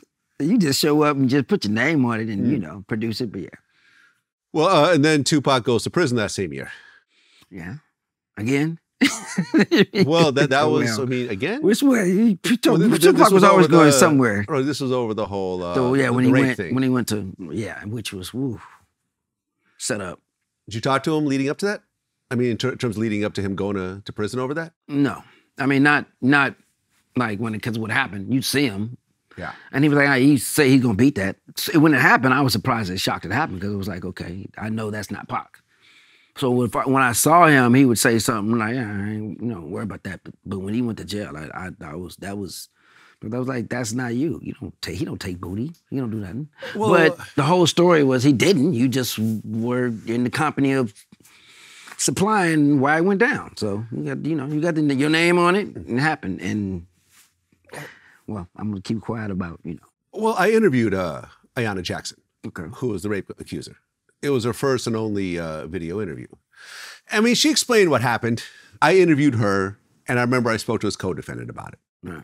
And essentially, the story that she told more or less matched up with what he said, with a few somewhat minor differences. Right. But I mean, if you look at it through a 2023 lens, you're fucking with a girl, right? It's not your girlfriend, just some girl that, you know, she gave you head on the dance floor and y'all Right. fucking around or whatever else. And, uh, you know, your homies want to hit. Right. And he's like, all right, well, that's not my girl. Y'all, you know, right. that's what y'all want to do. And she with it, cool. And you walk out and, you know, they do what they do. He's still somewhat responsible for this person. That's what I say. He's applied You- opportunity. You see what I'm saying? Yeah. It's not like he was totally Innocent. like totally innocent. You know, I mean, depending on how you look at it, it's like, look, this person's here for you. You know, and a lot of girls are cool with that. Yeah. You know, I mean, a lot of cool, a lot of girls are cool with fucking with the whole crew, but not every girl's like that. And especially these days, you got to be extra, extra, extra, extra, extra careful. Who you telling? You know, I think that if this happened in 2023, you'd probably get the same result. You know what I'm saying? And I think Pac learned a very valuable lesson, you know, when it comes to dealing with these types of situations. But he was a young guy, and you know what I'm saying? Like a lot of stuff probably went down like that, and everyone walked Yeah. away happy. Yeah. I In mean, I mean that, that to him it's probably just another night. I Another mean, night. hanging in strip clubs, Magic City days, the the, Yeah. the the just out having women come back to your hotel and you think everything is cool and it's like it may not, not cool. be like you think it is. And it May you know. not be. Yeah, you got to and be and, and, extra and, and res- respect to her. I've never met her, never heard her story. I was supposed to meet her one time, like after that actually. You were supposed to meet her. Oh, why? No, somebody was telling me I was in New York on a party. They was like, blah, blah, blah, blah, blah. I'm just going to be here. We're going to kick it with them. And by the way, this is the person that did that. And I was like, for real? And they was like, yeah. And I was like, well, we don't need to meet them. yeah, I'm serious. I was like, no, I'm good. We ain't got to go to that party. But to me, and this was not, and, and the case hadn't been closed or nothing yet. So it was mm-hmm. like at the time, people were still living their lives because you just, because for real. And, you know, God forbid that anybody takes advantage of of their career like that. That is like in going 15 seconds. That you just, I'm just into the moment because you just can't live in the moment no more. Yeah, you gotta think ahead. Because it may not be somebody else's moment. Gotta think ahead. Uh, you actually put money on uh, Pac's books. Yeah, yeah, yeah, yeah. Was he? Yeah, because he actually was having some money problems back then. Because I guess the the money hasn't. What? Some of the money hadn't really caught up. I guess the, the movie money and the music money and everything. Because I remember, like he was even talking about how he was Well, he was in prison with the number one uh, album in the country. Because Dear Mama was on there. but I mean, he was the lawyer fees. The lawyer fees. Yeah, had to eat him up. Man, Yeah. come on, man. Keep He, he was fighting man. multiple cases. The, the, the, More you than just the two one. Mm-hmm. cops, the two white cops in Atlanta that he shot, which he got off for. I mean, in the Oakland thing, that situation, that was before Oh yeah, the little kid died. Yeah, Um, whatever that happened because he yeah, was yeah, yeah. losing his hair and he was going through that coming when he was doing Tupac. I mean, when he was doing Poetic Justice. Yeah. He was kind of losing his hair and kind of he's biting his nails. You could tell he was going through a little anxiety and stuff. He was real, and we was Stressed like, "What's out. up with that?" And his hair was falling out. Yeah, Uh, He had patches. 21. Yeah, but now that you look back, you're like, "Oh, that's what that was." stress. Yeah. Yeah. Oh yeah. Well, um, I interviewed your uh, your brother, Guy, Mhm. and the two of you have a very interesting relationship, to say the least. um, you know, I watched an interview this morning. You know, Guy said, uh, "I don't like him, but I love him." Right. Uh, I guess he referred to you as a narcissist. Um, where are you guys right now? I, we're, we're good. We're always Yeah? we're always good. Guys, my little brother. So you know, whatever he says, whatever he, you know, what I always tell people this, like whatever he's going through, that's in his head. it's not in my head. And because he won't, I won't accept what's in his head. He, I'm a narcissist. He won't accept. I'm like, I don't want to hate you. I don't want to be mean to you. I don't want to be. I don't live like that. I don't. I can't stay mad at the world or somebody for too long. I may have my mm-hmm. moment with it and it's gone. But sometimes it may be a, enough where it's you know it's in your entrenched into your soul, and I think that's he gets a lot of that big brother stuff because I ran through a lot of doors and you know I didn't I didn't really care and then, you know, and then with him looking like me and coming up in the Torry name, mm-hmm. like my sister and my father had a great name. First of all, father, mother. My mother taught for 40 years. A Torry name is whatever it is. And then my sister, so we, you know, she was educator, track star. So, and then when you heard my name, it was like, okay, that's Lil Torry's brother, because I was getting into trouble. He's good, but he, he doing this. He's good, but he's beat somebody up. He's good, but he, you know, so because my sister was straight A, you know, you know, hallelujah, kumbaya. I was like, okay, I'm gonna try the system. Guy didn't never want to be caught up in it like that's Lil Torry, that's Joe Torry. He's gonna be something like that. He's gonna be. So he always tried to avoid, you know, um, he, he first got into business. I'm the world famous Guy T. Didn't want to use Torry. Uh, he didn't go to the same um, college. Could have went to my college where I went. He went to another college, trying to make his own name for himself. So he just been living in the little brother shadow for since I gave the Torry that celebrity name. And uh, you know, that, that's in his head and not mine. I love my brother. Well, he's done very well for himself. Yeah, he American should have. History better. I practically, I practically handed Hollywood to him. How do you fuck that up? You get out here, you okay. get out here, you have nothing but hey, you no rent, no, you got your car. I tell people when you come out here, uh, have some transportation and you know, and, and find a church home, a Bible or something, but you got to believe in something other than um, the evilness that you're going to run into because you're going to run into a lot of negativity. So you don't have transportation and you don't have some place where you meditate and you grab and you have another hero besides what somebody's telling you. You know what I'm saying? Get out of here because you're not prepared for it.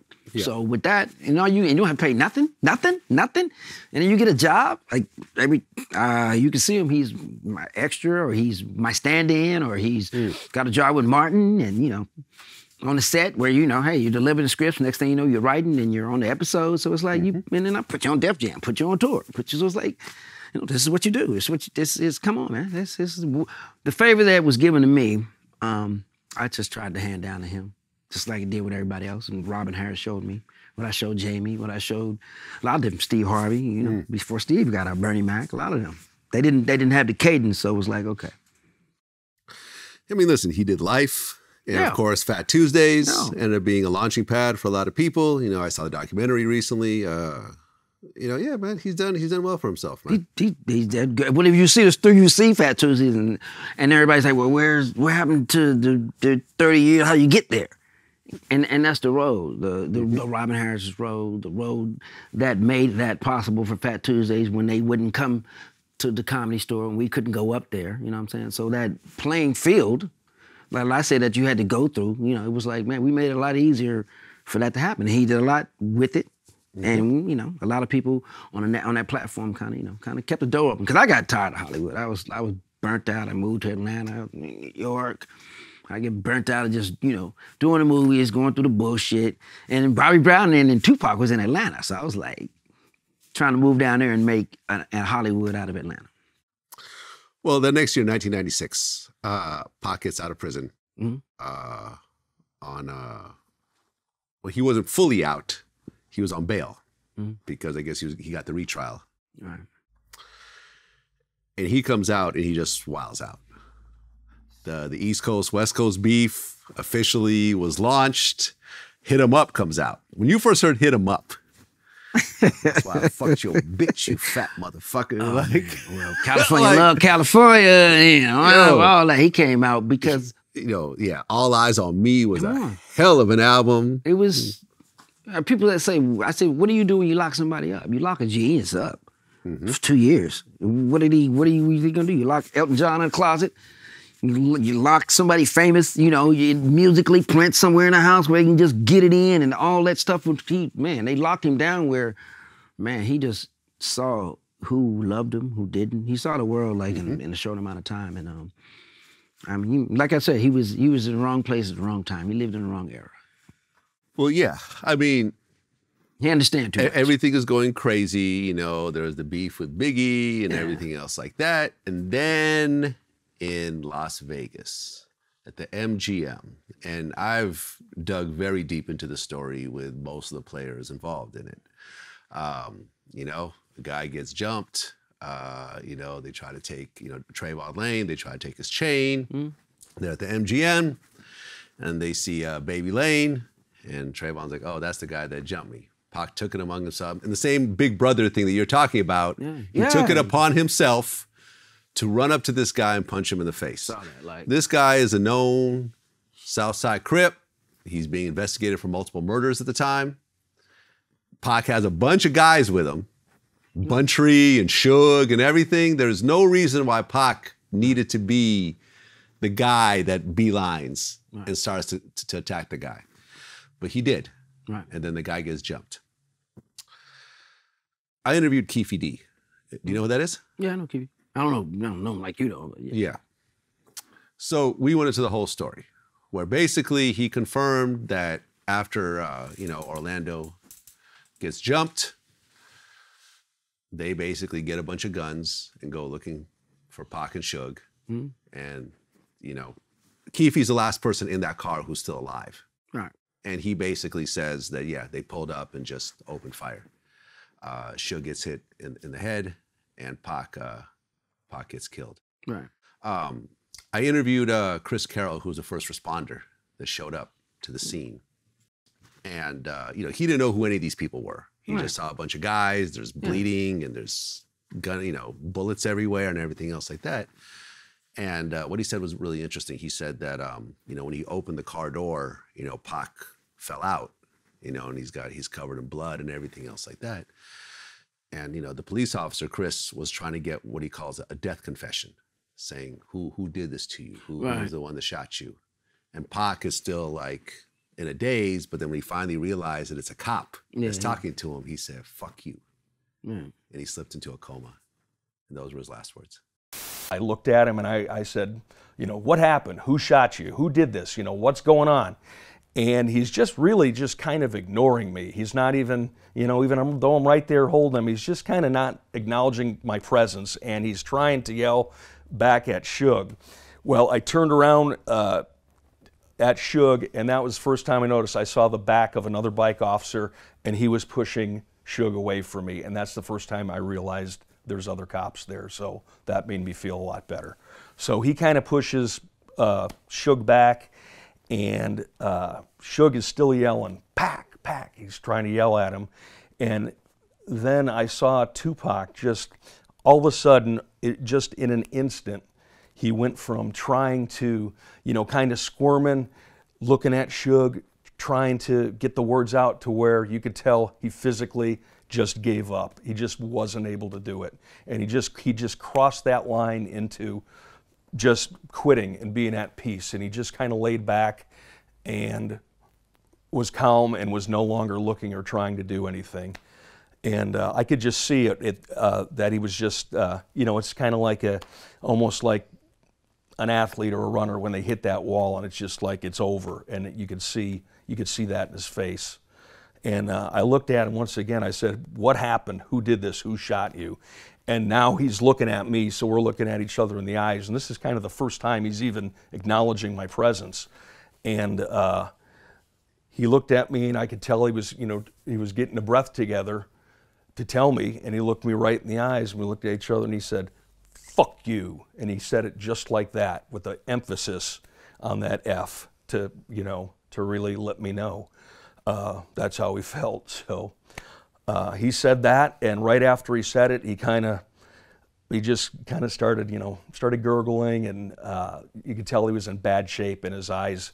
He's starting to lose consciousness then, and his eyes roll back. And as it turns out that would be his last conscious moment and his last words. Yep. You heard that before? Yeah. Exactly. That's how I heard it. That's I there's been no detours from that story as far as uh, you know. I mean, to me, I mean, yeah, I mean, when I heard it, but you also thought he was gonna live. Everyone thought he was going to live. Nah. Like, in fact, I remember uh, I lived in the Bay Area at the time, and uh, DJs were kind of cracking jokes about it. Like, oh, yeah, Pac lost a lung. He's going to be one lung Shakur. And, like, you know, people were kind of making light of it. In fact, your brother actually uh, made a joke about it. We talked about this. Uh, you know, Guy Torry on stage was like, he said, oh, he they weren't trying to kill Pac. They were trying to kill that that dude who had the bad, like, you know, national anthem, like song, you know, or, or some shit. You know what I'm saying? Like, because when he got shot, everyone just assumed Yeah. that he would live because Pac seemed invincible. He got did. shot, He did. you know, and he'd make a song about it. Like, him and Bobby Brown back in the day was like something gonna happen, they'll get out of it. Yeah. It was like they're the invincible guys. And Pac was like, you you thought that. And uh, he didn't that time, because it was a friend of mine that that um, that picture, that last infamous picture that is there, a friend of mine friend took that picture.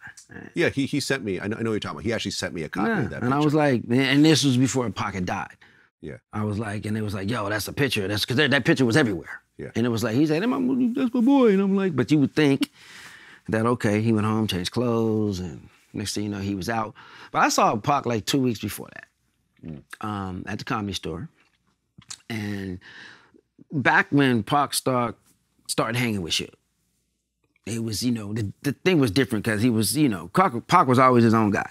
Come and go when he, when he wanted to when he's with Suge, it was always the point where okay, you know, because I was like, "Where you at?" We House of Blues. I think um, one time it was uh, um, Lauryn Hill, uh, the, uh, the whole the whole South, the OutKast, all of them were performing, and he was late. And I was like, "Where you been, man? Where you been, man?" He was like, "Man, and them had me over here. Sugar man." He was kind of like he wasn't his own guy anymore. He was with the crew. And you know, so it was like you never had permission to talk to Pac. Every time he came in, he was like this, or Sugar was looking or vetting the room or something. It was like, come on, I'm, I'm Pac before you knew Pac. So it was like I was always good, but it was a whole nother attitude. So at the comedy store two weeks before that, it was like maybe, um, I don't know, maybe mm, 20, 30 Crips crossed the street. And we were about to go over to the Hyatt, and I was going to roll over there with him, like we was going to hang out. And Pac was like, "No, no, no, no, y'all go out here." And that's when Monica Calhoun, I think Vivica was going, was about to go hang with them. Like, what's the thing? And he was like, "No." And that's the last time I saw him. He was like, and he looked, he never told me. He was like, "No, nah, man, I, I deal with this." And I was like, and he was just staring at a whole other crew across the street, like, and I was like, and it was like, you know, it was kind of like, it was, he's like, "This is my life now." Yeah. And I'm like, because he never rode like in a posse that big. It was Mopreme, um, and then maybe somebody else, but when he came, when he came, and none against Suge, I know Suge, you know, it's, it's been no Suge. Suge, and we always had great conversations. Uh, he always gave me great advice. So you thought he was in the, you know, the great situation where, you know, you, nothing's going to happen to him. And, uh, but it, it was definitely to the point where he couldn't make his own decisions anymore by himself. And that was kind of a frustrating thing. Yeah, I remember uh, I watched some documentary. I think Shock G said something to the effect of Pac and Suge's relationship was basically Suge held him down like Pac always wanted someone to hold him down. You know what I'm saying? Like like Suge basically said, "Do whatever you want, and I'll deal. I'll clean up the mess afterwards." You know, because he had this huge group of Bloods. Right. You know, I mean, Mob James is a, is a regular guest on my Right. show, and he basically brought a lot of these early guys in Yeah. and, and kind of set up this whole kind of thing where it was just like, yeah, Pac had the Outlawz, he had Thug Life. You know, he he, he always had he always had guys with him, but now he had an actual army of dudes Right. that were ultra violent. And he was, but he was never with a gang. He was like, he was right. cool. Was like, what do you, what do you, what do you do? You don't, you're not with any gang. Right, but he ended up getting a mob tattoo. Yeah. So Yeah, but see what I mean? He Yeah, started wearing but red I'm like- and cause why, why? you get caught up in that whole in that whole thing. I mean, it's alluring. Yeah. You know, it's why you see people like Chris Brown and Lil Wayne becoming Bloods after they become millionaires and stuff like that. It's it's a it's an alluring. Yeah, you know what? It, it could be a brotherhood thing. and it's also a A brotherhood. brotherhood thing. I mean, because I know a lot of a lot of people come back to my fraternity. They say, "Oh man, it seems like a great brotherhood." And Mm-hmm. So it's like being part of a big army or a family that you know that has your back and protects you everywhere. But you know, they really got to have your soul and your interests as heart. well. Yeah, yeah, man. You you see, you see lots of situations, man. You see, you know, you you fast forward to like you know a couple of years ago, you know, King Von, Mm. who got killed, basically. In a similar situation, he goes and sees someone he doesn't like, starts punching him. His man pulls out a gun and kills him, and then a shootout occurs. Other people die, and so forth. And it's just a lot of it is just like unnecessary situations that you're riding for your friends, and but you're but you're the star, like you're the you know, I mean, you're the money guy. Yeah. You're the one that everyone should be protecting and staying out the way. In the same way that you say how Janet Jackson's crew didn't want her to, to No. kiss anyone and get sick. Like there should have been someone there that at the point that he started running over there, they should have just grabbed him and like, nah. Like, Well, I mean, there's a there's a famous story with um, when Pac was doing um, poetic, and uh, somebody's gangbang was messing with him. My Maya Angelou and everybody was out there, and he was about to go whoop him up. I basically had to pick Tupac up and carry him Really? to the trailer. He was the movie, yeah, it was Maya Angelou, Robi Reed's mother, and the guy just kept messing calling him Tupac, kept doing this. He was an extra, but he was a gangbanger or something. He kept Yeah. messing with him. And I said, all you had to do was tell somebody to get him removed from the set, you know, because they had, you had like maybe 50 extra people out there, like were just in the park as bystanders. And I literally had to put him over my shoulder just because he was going. I he was really going. I carried him, picked him up, and John Don Wilkerson, he was the first AD. A lot of them, they were like, yo. But I, my thing was, first of all, that's Maya Angelou.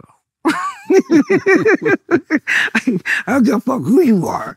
That's to everybody. Grandmama, you about to go wild on Well, the whole film was it. based around her poems, right?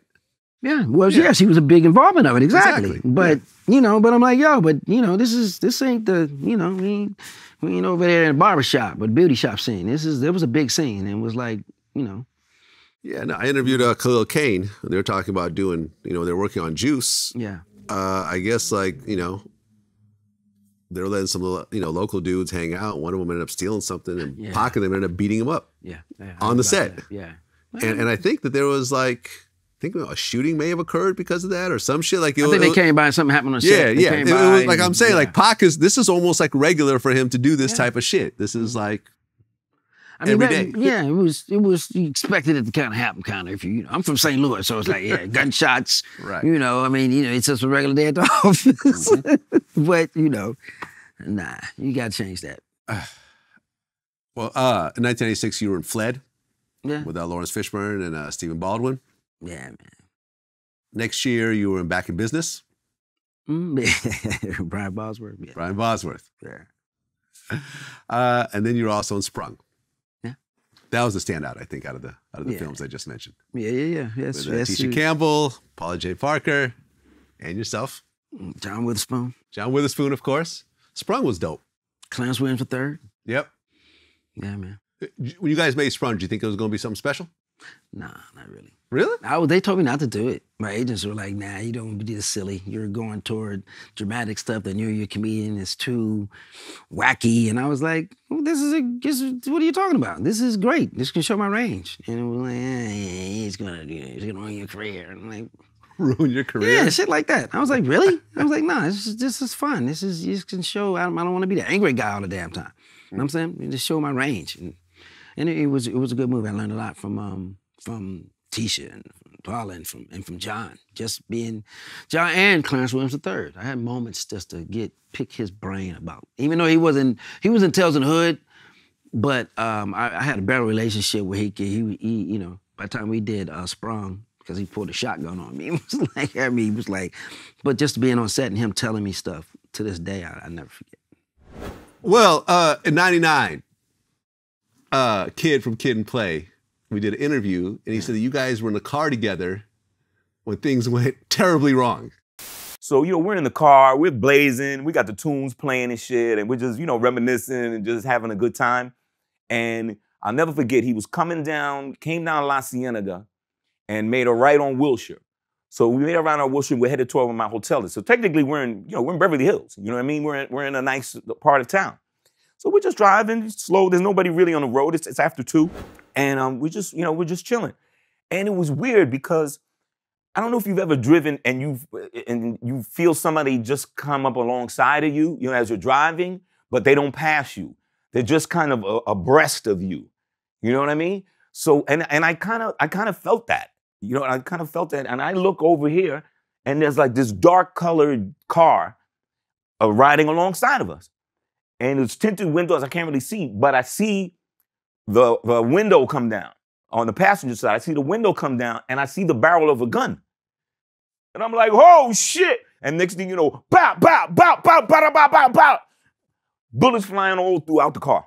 I'm, I'm ducking down like this. I could have swear I heard they're going everywhere, like several shots. And Joe almost loses control of the car, but he but he manages to to um, you know, maintain control of it. You know, he almost, you know, dang and smashed in some parked cars or whatever like that. And he, he says, yo, what the fuck? I'm like, what the fuck? And he got shot in the arm. Oh, And this is back when Joe was like cock diesel, right? And the bullet that like went right through his arm, like zap, boom, back. He was like, oh shit. And he thing, and now we don't know what to do. And we look around, and the car that had come alongside of us and shot at us had done a peeled out, did a U-turn and, and sped sped off. You know, because I didn't know, like, you know, they could maybe finish us off. I don't know. We never quite figured out what the fuck happened. Yeah, yeah, terribly wrong. Friday night, 99. I'm taking, I hadn't seen Kid in a minute. He comes from Richard Pryor's birthday party. Mm. Picked him up and we was hanging out later. And I'm never hanging out late on a Friday night because I'm never in LA.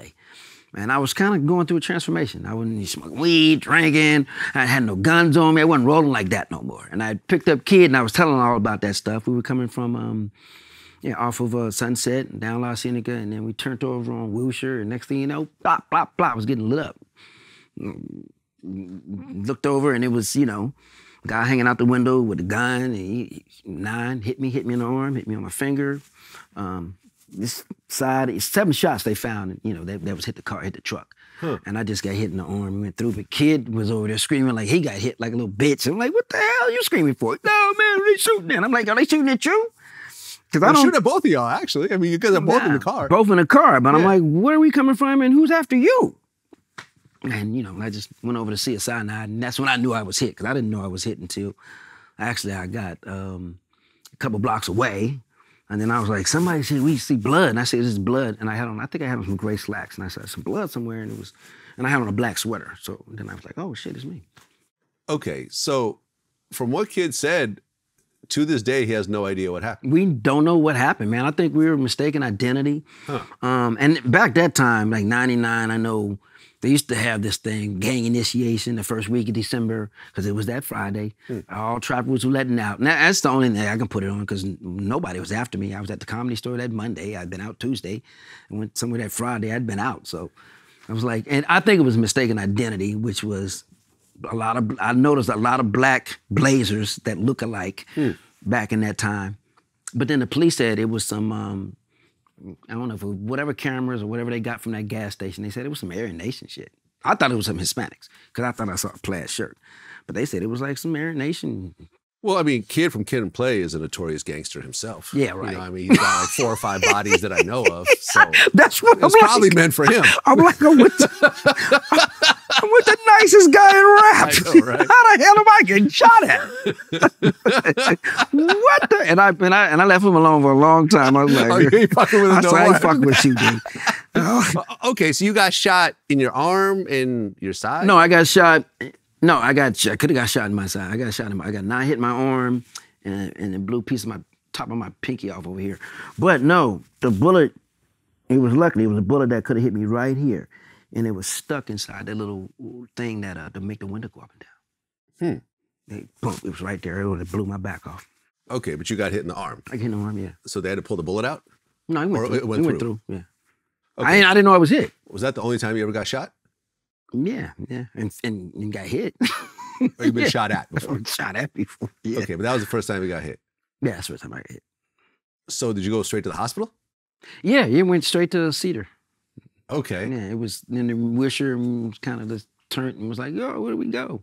Police showed up and you had to fill out a report and Yeah, whatever else. yeah, but you were like. I don't I don't know what happened. So We were like, you know, I don't know, we were just riding and drive by. Somebody just drove by and shot us, and they were like, eh. they, and it was funny because they were asking us all crazy ass questions like, "What'd you guys do? Where you coming from? Where you belong to?" We was like, what set you from? "Yeah," I'm like, "This is fucking kid from Kid 'n Play." But he wasn't shot, so they were looking at me, and my, I was man, I was he was I didn't even know it. Was like, man, you an athlete or something? You, your, your, my heart level was was cool and calm, but at that time I didn't know. That was just another wild night in L.A. to me, and I got caught up in it. You know what I mean? So I don't think nobody. I didn't feel nobody was after me, and nothing happened since. I I, I heard what you said. No, you take somebody's girl, then you do something. I'm like, what the fuck? I don't know, man. No, I don't. I don't do that. I don't mess with nobody else, nobody's girl. Like, yeah. Well, it wasn't. that- We still don't know where that came from. I don't know what it was, and uh, you know, it, you know, for a while I was like, oh man, do I go outside? Who's after me? But it's kind of getting shot at for a while. It will make you, you know, rethink your steps and choices and where you go out. And um, that's why I really don't go out in L.A., especially now on Friday nights. Yeah. Because you know, mistaken identity, people following you home, stuff and stuff like that was happening back in the day. I, maybe I was a little too flashy. They thought I could shoot me and jack me. I don't know. Yeah, that's why I live in a gated community, man. You're not following me home. But that happened on Wilshire and Beverly Hills. I know, right? They can catch me. Yeah, I mean, they can Yeah, catch me driving like, around. Nah, I- I got man? you. That's why I have tinted windows, I guess. Like, you don't know. But I mean, yeah. I mean, like, I'm, come on, you were Kid 'n Play. Yeah. You're, you're 99, you're driving, you're catching up. You know, you, you, you just came from a Bill Maher party. Bill Maher, Richard Pryor, Eddie Griffin, we laughing, we're catching up because kids stayed with me for a while. And I was like, you got mail over my house. You, you're staying at the, uh, he was staying at the Beverly Hills Hilton. And next thing you know, pop, pop, pop, pop, pop, pop. And I'm like, what the hell? So, and for real, I didn't, I didn't, I have I written with him since? I don't think so.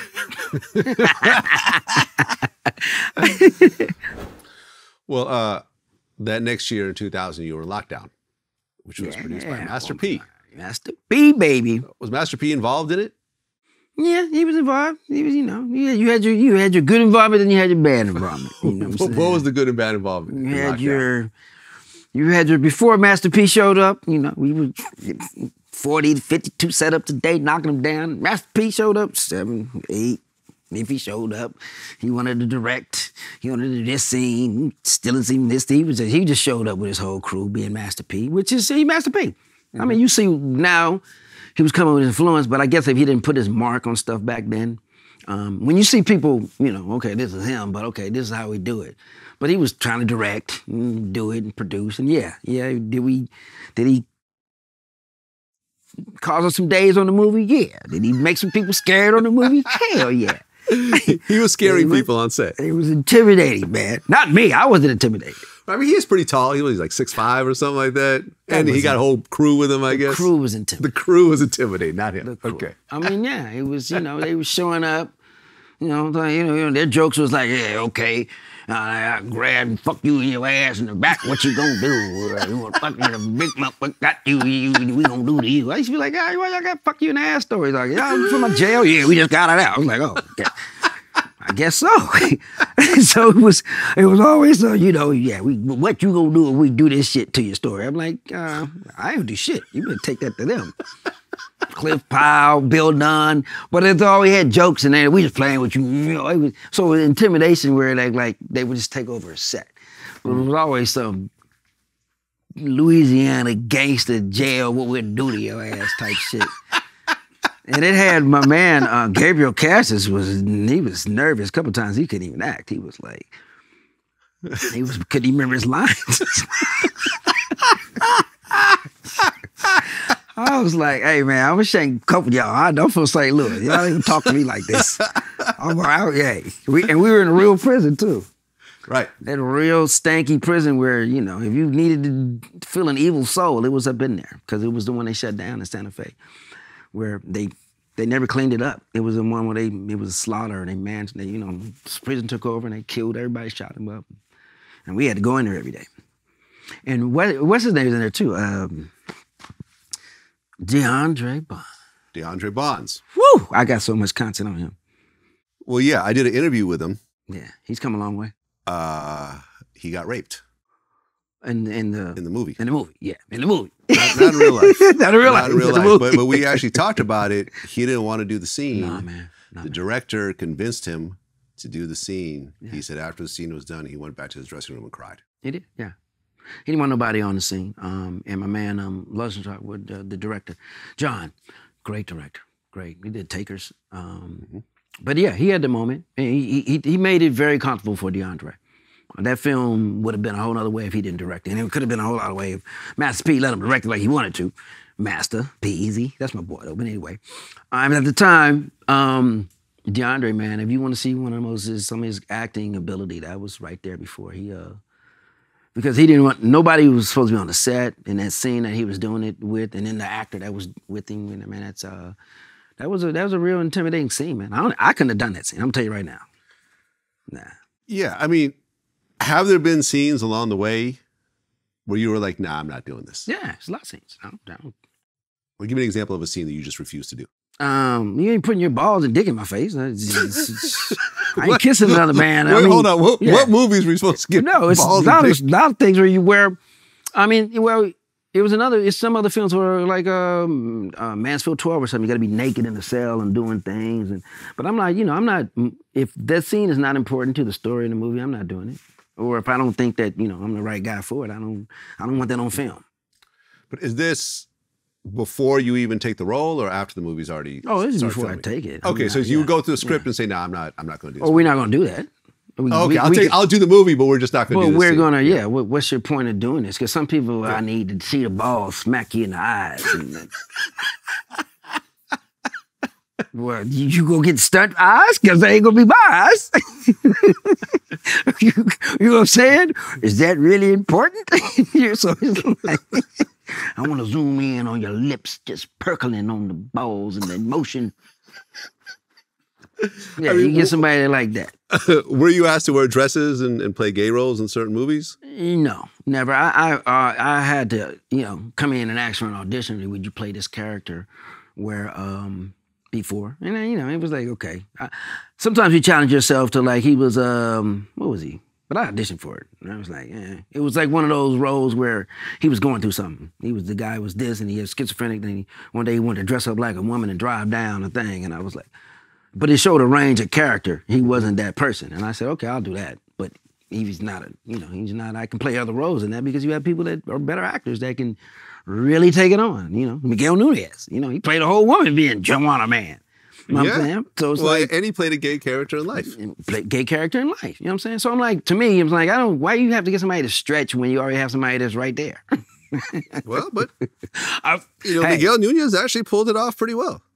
but- but- And, and he yeah. and he's like, I mean, we interviewed him. You know, Lunel did the interview for us, but like, I mean, he, he's a straight, you know, he's a straight man. Straight, He's- straight man, but a Yeah. veteran actor. Been doing this stuff since what was it? Um, he's been TV movies. What was it? Little movies, come- not a TV show. Something Palm Beach or something like that, or yeah, yeah, yeah. I yeah, yeah. I mean, Miguel's what sixty? He's 180, I think. Exactly. last Looking that good. motherfucker does not age. Eddie Murphy, yeah, fuck? be one of our good friends, and can play anything you, Yeah. any play anything you, you you show him up for. Yeah, no, listen, when he's not stealing groceries at the Ralphs, I mean, he's really Yeah. like, uh, Yeah, I think he was. he's I really think- uh, in his I- I- bag. I, think I think he thought he was playing. You know, he was Donald Trump at that time. I can just like walk out of here and nothing's gonna happen to me. yeah, okay. You come back in here. You was Miguel Nunez. You going to jail on TMZ. Oh, yeah. yeah, that was a good one. The line was too long. the line was too long. I already got That's it. why I pay for my, my groceries. You at least could have left your credit card, right? Well, uh, in 2009, there was a situation with a female comedian, uh, Mm-hmm. Vanessa Fraction. Right. Uh, she she did an interview, I think, on Comedy Hype. I guess you guys were on tour in Japan. Yeah, I joined the tour. Yeah, we, we went on tour. I went and helped to join the tour, and Can you talk about what happened? uh, no, I mean, I because he's not here, and I don't like you know poking bones and everything like that. Because it seems like you know we got over it, but when it comes up, it kind of bothers her. But we have you know we have made amends. That's just a, that's just a, something that just got out of hand, and it was really nothing. And when I say really nothing, not as big as it was, because it was a situation where I was her big brother, and then it turned into like for a week and a half, and then the next day I was like her enemy, and it was a long, bad night, and you know, and and then like like you said, 15 seconds of wrong thinking of going back and forth with somebody and saying something on Japan on a bus moving fast turned into, oh man, you you a woman beater, and I'm like, no, I'm a woman protector. You know what I'm saying? But since that story has been, you know, recanted, and we've been we talked about it, we've done shows before, and then after that, you know, they was trying to do a little tour. But I think, you know, the way that whole thing was uh, established was um, wrong.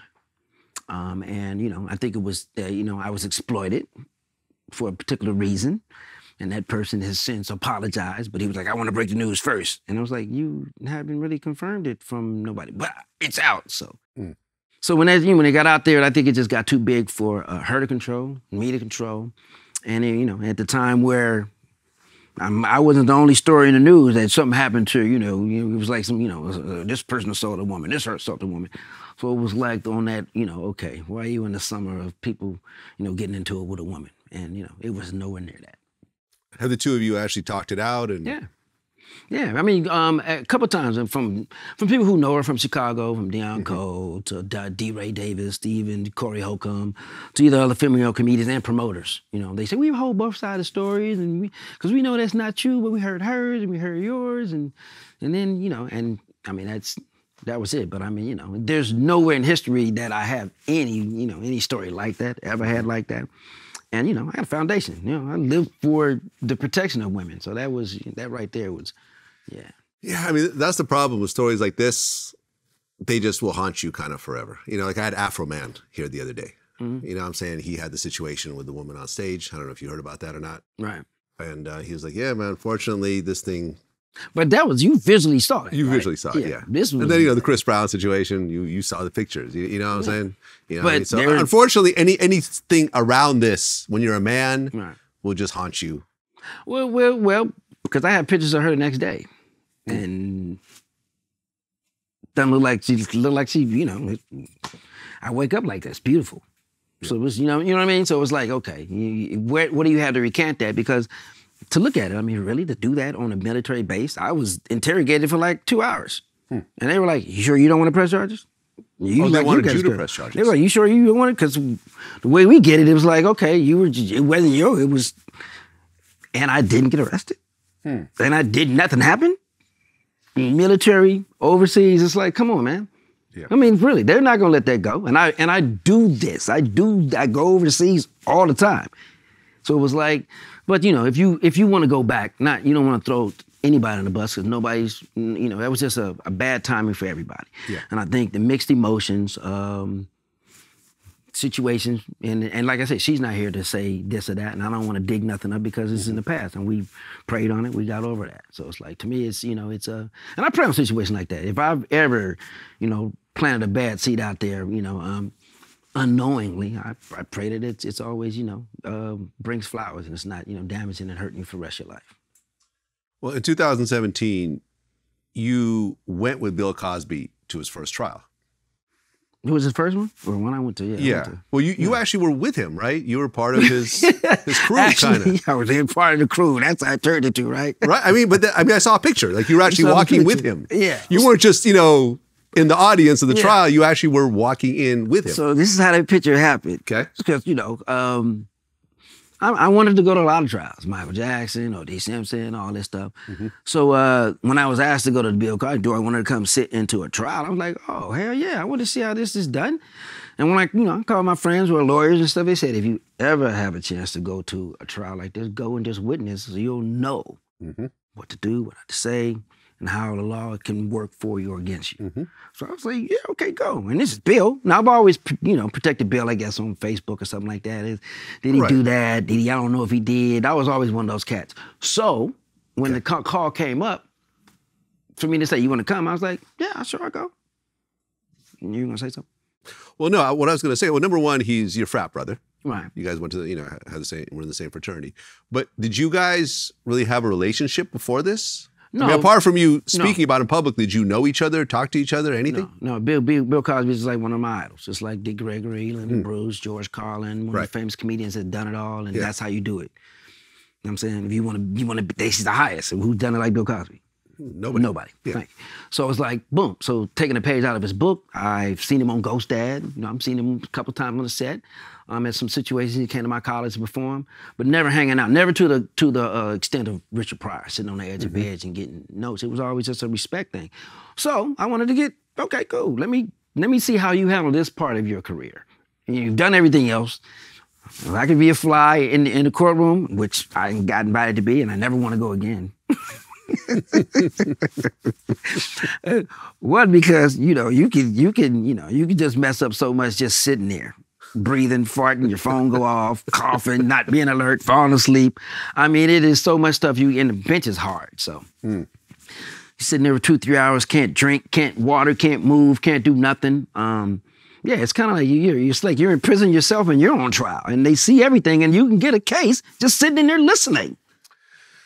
Yeah, It I mean, is- it's exhausting and no, going through you. all that. I've been No, in trials like- before. I, I, can, I Yeah. feel your pain. Yeah, I mean, and I interviewed Tom Mesereau, who was his lawyer during that first trial. Oh, that guy was. Talking about the, the guy from yeah, he With was. the white hair, the long white hair. Um, no, the one he won. I got. I was on. I went to the one he went. He. he it was. Oh, guy you, was didn't, you like, didn't go to the one that he. uh, the one he. The one that got mistrial. That's when I went. Yeah, that's like the first one. Yeah. So that was a little Jew. That was. was Oh, I no, thought it was no, a little no, Italian guy. He no, no, was. no, you're right. Yeah, you're right. Yeah, Yeah, Tom he- was, was the next one. Okay, you're right. Yeah. Okay, yeah, Yeah, yeah. he 'cause changed the first lawyers. trial, the first trial ended up being a mistrial. Cause that lawyer was on it. Yeah. He was like. He was like. Oh my God. He was the only. He was. He had everything. He was like a whole show. Mm-hmm. I thought I was watching a movie. Hey man, best lawyers money could buy. No, but he but but every he found everybody wrong. He found people were lying. Mm-hmm. He went back. Only person didn't lie was Bill Cosby. Twenty years ago, they went back to all the things and said, "Well, why are you lying here? And why are you lying here? And you said this here. And these are policemen. These are mm, these are lawyers. These are pe- everybody they called up there. He called them in something that okay, well, mm-hmm. and they went back on Facebook. You said this. And this you and they have stuff that people are really out to get him. So that's why I was thrown out. That's what I saw. Right. 'Cause people were inconsistent with their stories. But then there was a retrial in 2018 where he was found guilty. Nah, I didn't go to that one. When you heard that he was found guilty, what'd you think? I knew he was gonna be found guilty when he when they moved um, from one county to another one. Mm. Because was and a new, and then he changed another lawyer because that that was the whole thing.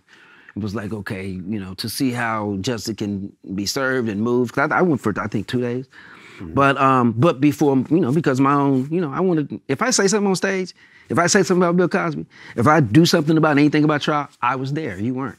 So how you gonna tell me and you weren't there? So if I say anything, I took the hit. I went there and saw for myself who was lying, who didn't lie, who told the truth, how this stuff really works, where it was. So you can't say nothing unless you were there.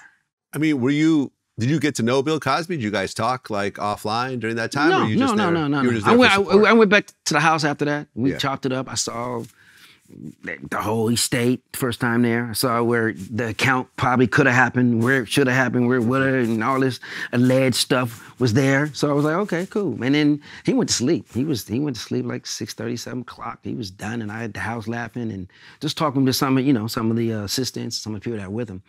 But I mean, to be in a moment like that, to kind of see it, you know, and, you know, I was, you know, I I, I wouldn't man, I don't, I don't know how you can exchange that because it was, you know, his word. And I, talked to him. I talked to him for like about maybe an hour after that. You know, he's laying in the bed and he was telling me, you know, he, was like, what did he say? Uh, he said, he said hey, this is what he said. He said, hey, look, don't get yourself involved in my stuff. You know what I'm saying? It's on me. It's all on me. Okay? You came, you see, you saw, but don't back out there. Don't be out there doing what you got to do to on your career or whatever like that. He said, if my kids go broke, that's on them. They can get a job at Chick fil A. I was good. he said, that. he said, but don't, and he was like, yeah, he said, I'm, I'm gonna be all right. Well, yeah, he, he got found guilty in uh, 2018. I think uh, TMZ caught you at the airport, and you're like, oh yeah, before or after that, I'm yeah. Yeah, you said, uh, you know, you you said that uh, you feel that after this, other people are going to end up getting going down for mistakes they made 100 years ago. Yeah, because this was like damn near 100 years ago. Yeah, and man, you and you see, I mean, um, people have been since R. Kelly? then. Well, that's a different situation. Well, different situation because you know, I mean, you know, I mean, you got tape, you got footage. You got that one tape, yeah. footage. Well, yeah. You're dumb enough to film himself. And yeah, and you know, and you and you got tons of stories on just that nature of that. You know what I'm saying? Well, I mean, you know but to I mean? be fair, the number of accusers against Bill Cosby is huge. It's Right. a long laundry Yeah. list of people. Not to say they're all telling the truth, Right, right. you know what I mean? But like, yeah, I mean, it's a lot of accusations, but it's also, I mean, It- weird, it- man. It's a, Like, as a it's man- different. It's a different. There's a difference of like, okay, actually seeing a tape of you. Yeah. You know, a tape. right. And then But- but, remember, but remember in the first trial, the, the R. Kelly tape, basically the girl took the stand and said it wasn't her. And then in the mm. s in the recent trial, she's like, no, actually, it was me.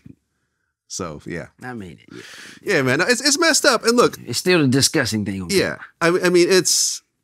I, I guess the, the the the hard part, you know, you know, like I said, Tom Mesereau has been on my show twice. You know, he's the one that ultimately, you know, the first trial that they lost, he was he was the. I mean, the the, the retrial that ended up losing, he was the main lawyer on that Right. case, and uh, you know, we went fully into it. He, he was also Michael Jackson's lawyer during the whole, uh, you know, you know, all the accusations that he had. But like, I mean, I'm 49 years old. If you I've had women hit me on social media and say, "Hey, remember we went out in the '90s?" Yeah. And I'm like, "I have no idea who you are." Exactly. I honestly, like, I'm not being funny right now. yeah.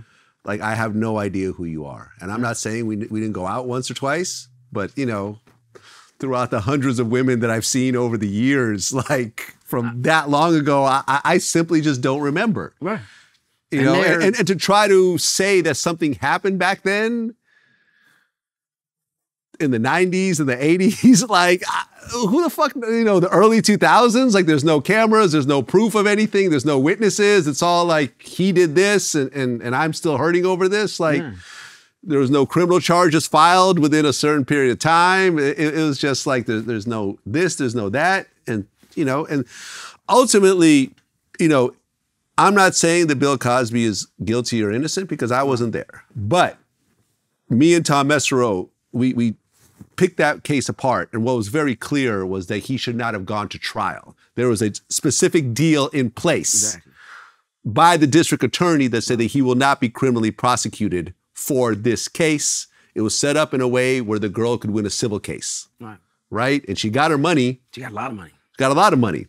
That to me is problematic also. If you cash out and get a bunch of money and then come back and want to put him in jail after the money's ran out, Well, that, that, and, well, if you went in court, that, that was the thing. It was like, okay, he didn't want to be known as a disgusting man. Uh, So it was like basically, he, he kind of knew he was in between. Oh, okay, what happened and what he wanted to just pay for tuition. He's like, I can't give you money. I want to pay. I pay for the college. I pay for your grades and stuff like that. But I just can't give you money, man. And then when that didn't work, it was like I think she wanted to be a masseuse. She, she wanted to do be for him to finance her masseuse, her masseuse career after that. But she ended up falling in love with the masseuse or another masseuse, and he was fine. He was like, yo, he kept, and then when it ran finally ran out, it was like she tried to come back again, and it was like, and that's where you had that. But it was like, okay, but you already got paid like two, three, four, five million for for you know, and that was the thing. So Yeah. in court, when I saw stuff, I don't know what they were releasing to the public, but I was like, but okay, this is you know what really happened, and everybody know what really happened, and then you got paid for it, Yeah. and then. So, so then, who are you now? Are you still in pain now that he went to jail, and now you got more money? Yeah, I mean, How that- you that's the problem. today? That's the problem with extortion, man. That, that's why I've always felt like if someone wants to extort me, they can just go ahead and spill it. I ain't, I ain't gonna pay Well, a penny. You know what I well, mean? well, Because thing because I'll end up having to pay forever. Well, You know what I mean? is, like if- I'm cool. if you to me it's like he got caught up on being you know the weed man back in the day or something like that you know it was like you know if you know somebody that had weed like oh who got it you know, oh he's he, you know he got some weed you know what I'm saying so we go over there so you ain't think Tupac and DJ Quik and everybody used to come over to my house and smoke weed. And, you know, I lived, you know, close to Santa Monica. I used to go to the guitar center store. Oh, Joe live around the corner. Come out and smoke some weed. A lot of parties. Mm-hmm. A lot of pool parties. People always smoke joint. Blah. I've been in the Snoop Dogg circle. I don't know how many times. Right? Can I go back and say uh, 2019, whatever, Snoop tried to rape me? Because he got me high in a weed circle. Yeah. You know what I'm saying? And it's like, that'd be crazy. Like, man, what the hell you talking about? Yeah, man, you don't know what happened after that. And then now you got everybody coming. And not to put Snoop out there, but I'm saying not everybody. You could put many a rappers named Diddy, Rick Ross. Everybody had big parties now. You big, big parties at your house, big pool parties. Jermaine Dupri back in the day. Oh, I used to go to all of them. Basketball players. Now, if you're liable for what somebody drank or smoked or did at the party, are you responsible? Yeah. Right. Because Cosby got found guilty. He got sentenced, to, I believe, three years. And when he went in, uh, I mean, Tom was talking about this, how he had a chance if he did certain classes and said, "Hey, I admit to being a rapist, and I'm I'm, I'm sorry about this, whatever," he could have actually gotten out. But he actually refused Yeah, to do that.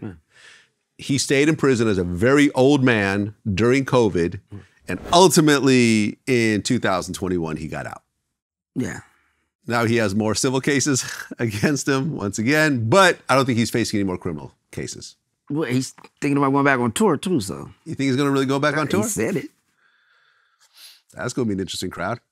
Well, well, I, you, I think you still have, you know, he still has audience. I mean, to me, this, this is one thing I heard um, somebody say. It was like, you know, um, God never stopped making people, and if you know, and you know, if eight million people stop liking you, find eight million more. I mean, because they're they're out there. Because everybody doesn't, you know, most of the people do. They just read the headlines. They don't really read, um, or they don't really, you know, read like the fine final print. Yeah. So if the last thing you did was good, or you, that's kind of what they go by.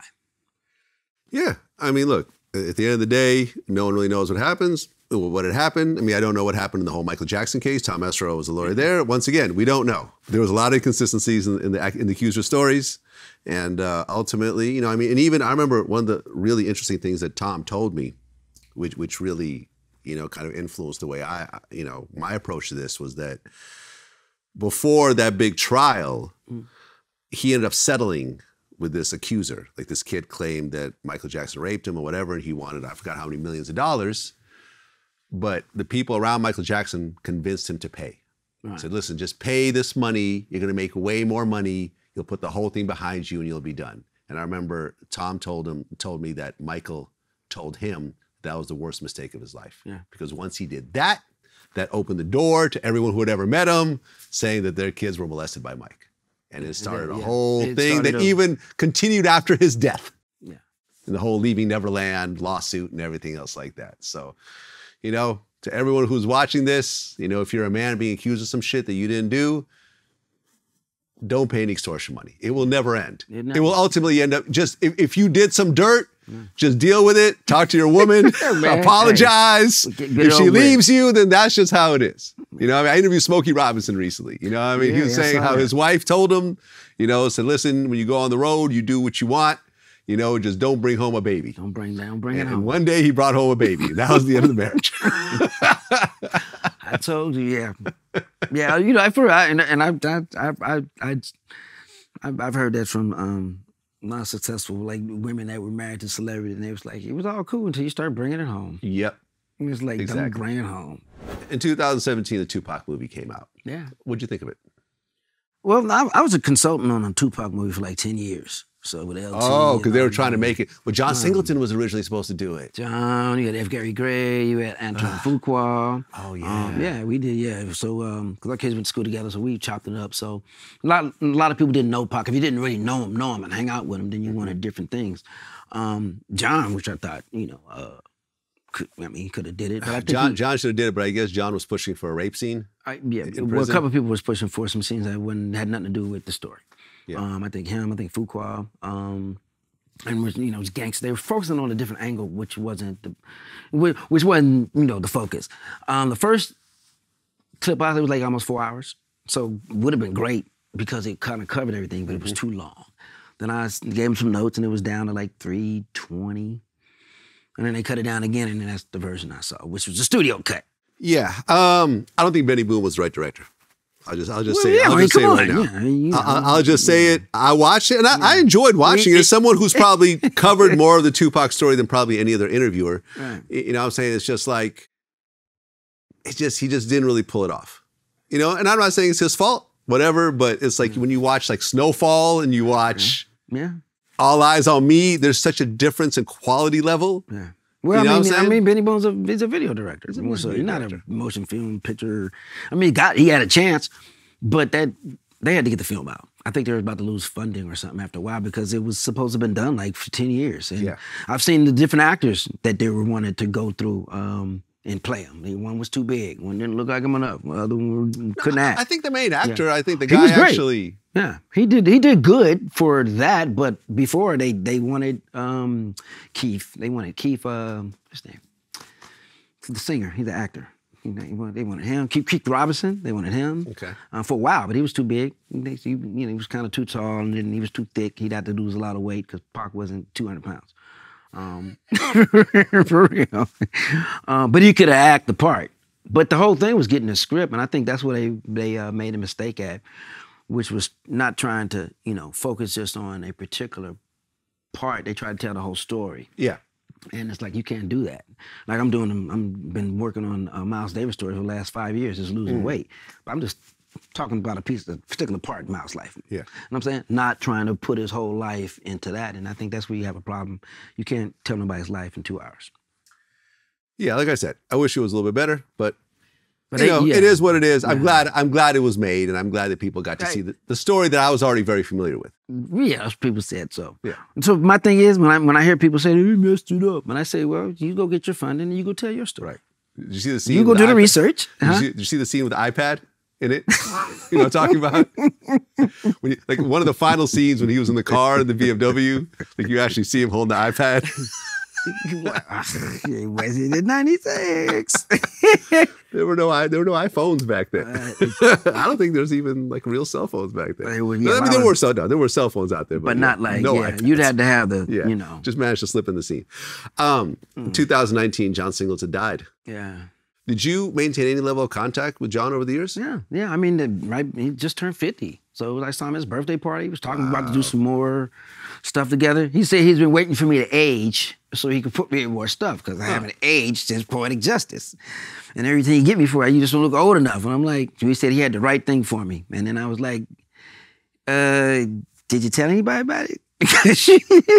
Because I was do something on Snowfall. And he was like, and I saw him at his birthday party, and he was like, we had the great conversation, and then um, man, it was um, passed. Yeah, that was a shock. Yeah, that was real He was pretty young, 50. Yeah, yeah, but John lived. John, Lon, John got it in. He was yeah. Don't oh, let Oh, the he- corniness fool you. He was John. He partied Yeah, yeah. That's what you're saying? No, no, no, not like party. Just he he rode. He was out. He was you know because he really didn't hang out a lot. but okay. at that particular point in his life, I saw him hanging out a lot more, like on TMZ and doing. And I was like, what the hell are you doing? Because he normally, you know, he's you know focused. Snowfall is my favorite show on television when it's on. Yeah. I mean, even with him not being involved in it, it was just like, you know, we've interviewed some of the actors from Snowfall too. It's almost like a prequel to Boyz n the Hood. Yeah, yeah, yeah. You know what I'm saying? Yeah. But it's like, I feel like a lot of other shows. I mean, I, I think like Power is kind of like a cool show, and I, and I I like to watch it. But it was more like Power is more kind of like fantastical, like you know, you can kill twenty people and no one saw nothing, you get away with it, and you know, it's like you're everywhere you go, no one, no one can ever catch you. You know, I feel like you know that was just more of a realistic film, and the way it's shot, the characters, it, I I felt it was just a more realistic movie, and you could really feel Singleton's fingerprints all over it. You know, the way it looks, the way it's mm. shot, the actors mm. that they chose, mm. and everything else like that. I think it's it was great. And uh, man, I never got to. I've always wanted to interview Singleton. Every time we reached out, we could never get him. It's it's almost as if he could tell Boyz n the Hood, you know, in a series. You know what I Yeah. mean? And now he got to the point where, well, I know he wanted to get out of directing because they said it took so much time of his life, two, three, four, five years on a project. Yeah. And if you write a direct to do it, then you're really in it. But he wanted to produce some stuff and have it where he can move around. And then I think he always wanted to tell that that uh, LA story, but like you said, not um, with the with the with the with the um, influence of power or stuff that okay, that's not believable. You know what I love about John Singleton is that L.A. is always such a character in all of his projects. Like Yeah. even like you know when I was watching, um, you know, Poetic Justice this morning, like Yeah. when you guys were driving out and you see like the burnt out buildings because of mm. the you know the L.A. riots had mm. just happened around the, the time of that movie, and it's always like like South Central L.A. in particular is just so you know, it's just a part of the film. It's like an actual character in the film. Yeah. Yeah. Like, you know, I mean, like these movies would not have worked if they were in Cleveland or New York or mm. Atlanta. It was like he he managed to capture the area that he grew up in Mm-hmm. and and churn it into a vital part of a lot of his films. Yeah.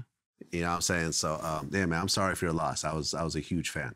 Yeah, it was the right place, right time, man. He had, he had a beautiful eye on telling real stories about uh, L.A. Um, Yeah. and putting them in, Yep. you know. And I remember uh, it was the episode of Snowfall right after he died. They kind of had this guy kind of being, you know, playing him. I don't know if you remember when they're kind of walking through the projects and there was a dude with a camera wearing Mm. Yeah, like yeah, an yeah. X hat and glasses. Yeah. Like, man, get that fucking camera out my face. Yeah, yeah, yeah. And it's like, oh shit, that's that's supposed to be John Singleton right there. That's kind of cool. Like, That's you his, know, Alfred, Hitch- that's his Alfred Hitchcock movie. yeah, little man. Alfred Hitchcock little moment. It wasn't actually him, but you know. it's No, but I'm saying, but the, yeah, it was like that little thing. Yeah. Yeah, because you know he's in, uh, you know, he's a mailman in Boyz n the Hood. He's a, he's a, he's in a lot of Oh, stuff. really? Yeah, I must, he's- I must have missed that. He's one. a bunch of stuff. Yeah, yeah. Oh, I gotta go back. I gotta go back and watch. A- he plays a lot of little come in and pop out. You're like, well, that was John. Yeah, he was doing that. Uh, Well, uh, uh, Chris Rock just dropped his Netflix special. Oh, yeah, you yeah. watched it? yeah, I watched it, man. I watched it. I, know, I I, know. watched I was it. like, it just dropped. Uh, number one, did you ever see uh, the relationship between Tupac and Jada Pinkett? Have you ever were you ever around both of them? different periods. I have different relationships with, with both of them. I didn't know that they had that relationship, but I was friends with Jada's. Uh, I did when I was doing Talking Dirty After Dark. So I, I was friends with uh, Jada's aunt in Baltimore. So I used to help Jada come over and read sides Okay. uh, for when she was trying to be funny before a Different World. Because she was like, I don't, I'm not funny. I got these uh these these, these drama tears. I don't have these comedy tears. and uh and so uh, she used to come. I used to help her read. She's almost lived right around the corner from me when I lived in La Cienega in Okay. Cadillac over in that area. So that's when I met. You know, when I was Jada and then with Pac, it was just different. I didn't know they knew each other like that. Ah, okay. So you never actually saw them together. So she she never came to the set. Okay. Um, I think at that time, I think he was dating Left Eye, Lisa. Yeah, right, I know that story. Lisa. She used to come to the set, so stuff like that. So that you know, so that was that's a whole nother Andre Rison Tupac story. I know. So, but uh, yeah, when I when we I knew they were friends later because we got a couple pictures together and stuff. But I know them two separately. Well, number one, when you saw the whole slapping incident at the Oscars, Mhm. what was the first reaction that you thought? I, I thought it was fake. You thought it was fake. Yeah, at first I thought it was fake. It wasn't fake. And then I saw Chris's face. Because Chris is a professional. And he was looking like, ah, this, this wasn't in rehearsal. Do you know Chris Rock? Yeah, I know Chris. Do you know Will well. Smith? I don't know Will as much as I know Chris. Okay, so But Chris, yeah. you know. Yeah, Chris I know. Chris is a very small guy. Yeah, yeah. And the introvert. Chris is never harm a Yeah. fly and come out loner. He just, yeah, Chris is, Yeah. So when you saw his face, you're like, oh, okay, this is real. Yeah, very well. Did you talk to him afterwards? No, I sent him his, him text and I sent his brother a text. Because I, I kind of knew he was going through, you know, it's kind of, nobody wants to, you know, keep going through, well, I'm cool, you know, kind of give a 100 stories, answer home calls. I knew he was going through a lot, so I was like, I sent a message to his brothers, text him that I was praying for both of them. Well, and Chris Rock has been relatively quiet about it until Till? this Netflix special Right, where he called Will and Jada bitches. right. He went in. I mean, Yeah. he called Will all, all types of bitches and then called Jada a bitch at one point. And, uh, you know, he kind of allured to the August Alsina entanglement Right. situation. Right. What was your take? Well, number one, what did you think of the Chris Rock special? I think it was, great. Just like he always he touched on a lot of subjects, not just that. He did. Yeah, he left yeah. that for the end. And he left, left it. What you do? That's He- the, he knew what he was that's doing. the technique. That's the He knew- he knew what he was say, doing. Yeah, you know, Yeah. set up drag. Everybody's waiting for it. You lead them on.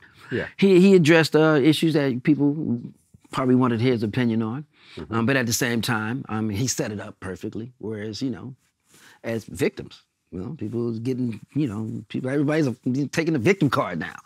Uh, which is, you know, which is okay. Uh, They, you can say something wrong, um, or like he was saying, you can get in line now just for your feelings, as far as in getting a check for it and something wrong. It's like leave that for real people that got real issues.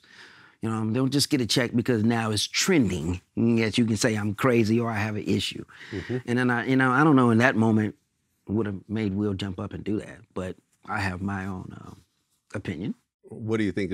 Why do you think that Will decided on the night of the Oscars with the entire planet watching you, you are nominated mm-hmm. for a Best Actor Oscar, right. and you decided to walk up to the stage and assault the host? Now, now, putting when I look at it, when I talk about it on stage, I say, okay, here it is. I say, okay, well, you got to look at it because this wasn't the first time that this happened. This was, you know, this is Chris has said. I think it's the third time he kind of joked on Jada. You know what I'm mm-hmm. saying? Wow, he's a host in public. I'm like, okay, well, if you got to look at it, after if I've been to ten of your parties and my wife is the only one you're fucking with every time, maybe it's like, okay, come on. Maybe they finally clicked. It's like everybody else in the room. Why are you always picking up with my wife? Why are you always messing with my wife? Can you say something else? And we know each other. So it's, you know, out of the point, it could be like, no, come on, man. You know, Everybody else in the room, again, national audience, here we go. Now that could have been that. Yeah. You know what I'm saying? Why? Because I, I would have felt the same way if it where I go. Like, you know, I bring my wife over to my brother's house and he's saying something to her every time she come over, saying something about my kid and loudly in front of everybody. I'm gonna have I'm gonna have a certain kind of feeling about that every time you're trying to put my wife on blast. Find somebody else this time. Okay, that that's fair. Yeah. But as we all know, and I've been to a lot of comedy shows, when I sit in the front row, Right. I expect to get roasted. Right. Okay. I expect to be recognized, and I expect whoever's on stage Right. To talk shit. Yes. And that's why I'm and I'm okay with that. Because I'm in the front Right. row, and that just comes with the territory. exactly. But talk about me. My big Whoever ears. you bring with Yeah. you will be Yeah, roasted okay. right along with you. You're at a comedy show. But at the same time, he could he could say, okay, can you talk about my ears? Can you talk about me this time? It's about me. Why has it got to be my wife? You know, and, and you have to look at it sometime like that. It could be like, you know, and they could joke about it. He could have been like, oh, he- and she could have been like, here we go again. Now you say, oh, well, I got to be the joke. And to me, you know I mean? I mean, that's, you know, so as a comedian, you mm-hmm. got to be prepared for that. You got to be prepared for, you know, if somebody come up on that stage. Now, I'm prepared. I mean, at the Oscars, though. I'm prepared. I don't care where, where you're at. Oscars, a funeral, church, baptism. I know when I ass whooping or something's out of pocket. Did you watch the the Marlon Wayans uh, special? Yeah, I watched Martin Wayne. Yeah, it's interesting how they almost use some of the same jokes because they, they both talked about that Yeah. that situation. I mean, in fact, Marlon's whole thing was basically about that, Right. and I guess Marlon had a had a history of Chris Rock fucking with him. Well, maybe he has. I mean, I mean, you know, I, I have my own version of how I tell him a joke if it would, if I would, you know, if he'd have came up on me. You know what I'm saying? So, but that's that's for the show. But I mean, but Okay. but but I, you know, I mean, first of all, I I wouldn't have picked on you know his wife like that for the third time. You know what I mean? I, I kind of felt that. I kind of feel who somebody's not getting it, or I'm gonna be, you know, picking bones with you. I'd rather mess with you first. But if you do come up on that stage, that's your ass. Period. I mean, you know, I, I'm known for, you know, handling my own. So So you had people run up on your stage. no, well, I have people, you know, yeah, come up there, come on up here, or want to fight me after the show. Yeah, come on. Okay. Have you had someone actually try to fight you during a show? Oh yeah, a couple people. They never made it to the stage. Security would get them. Security was getting them, or I was about to smack them with the microphone, or they sat down, or Okay. they left. But you had people trying to fight you afterwards as well. Um, yeah, some people try to. You know, when you say like that before, I'm like, well, you know, well, I ain't, I'm not on stage now. You don't This- do. You don't do. I mean, I'm saying I'm not on stage now once you're at the club. right. So you know. I mean, so, listen, man. I've, I've been to lots of comedy shows, especially in LA, and, and things get dicey out here. Yeah, I You mean, what I not. I, I, I remember going. Um, where was it? Uh, DeRay Davis invited me to this one show, and one of the opening guys was like talking uh, about one dude, and the guy's motherfucker, Eight Trey, you know, Eight Trey Crip, get down and lay down.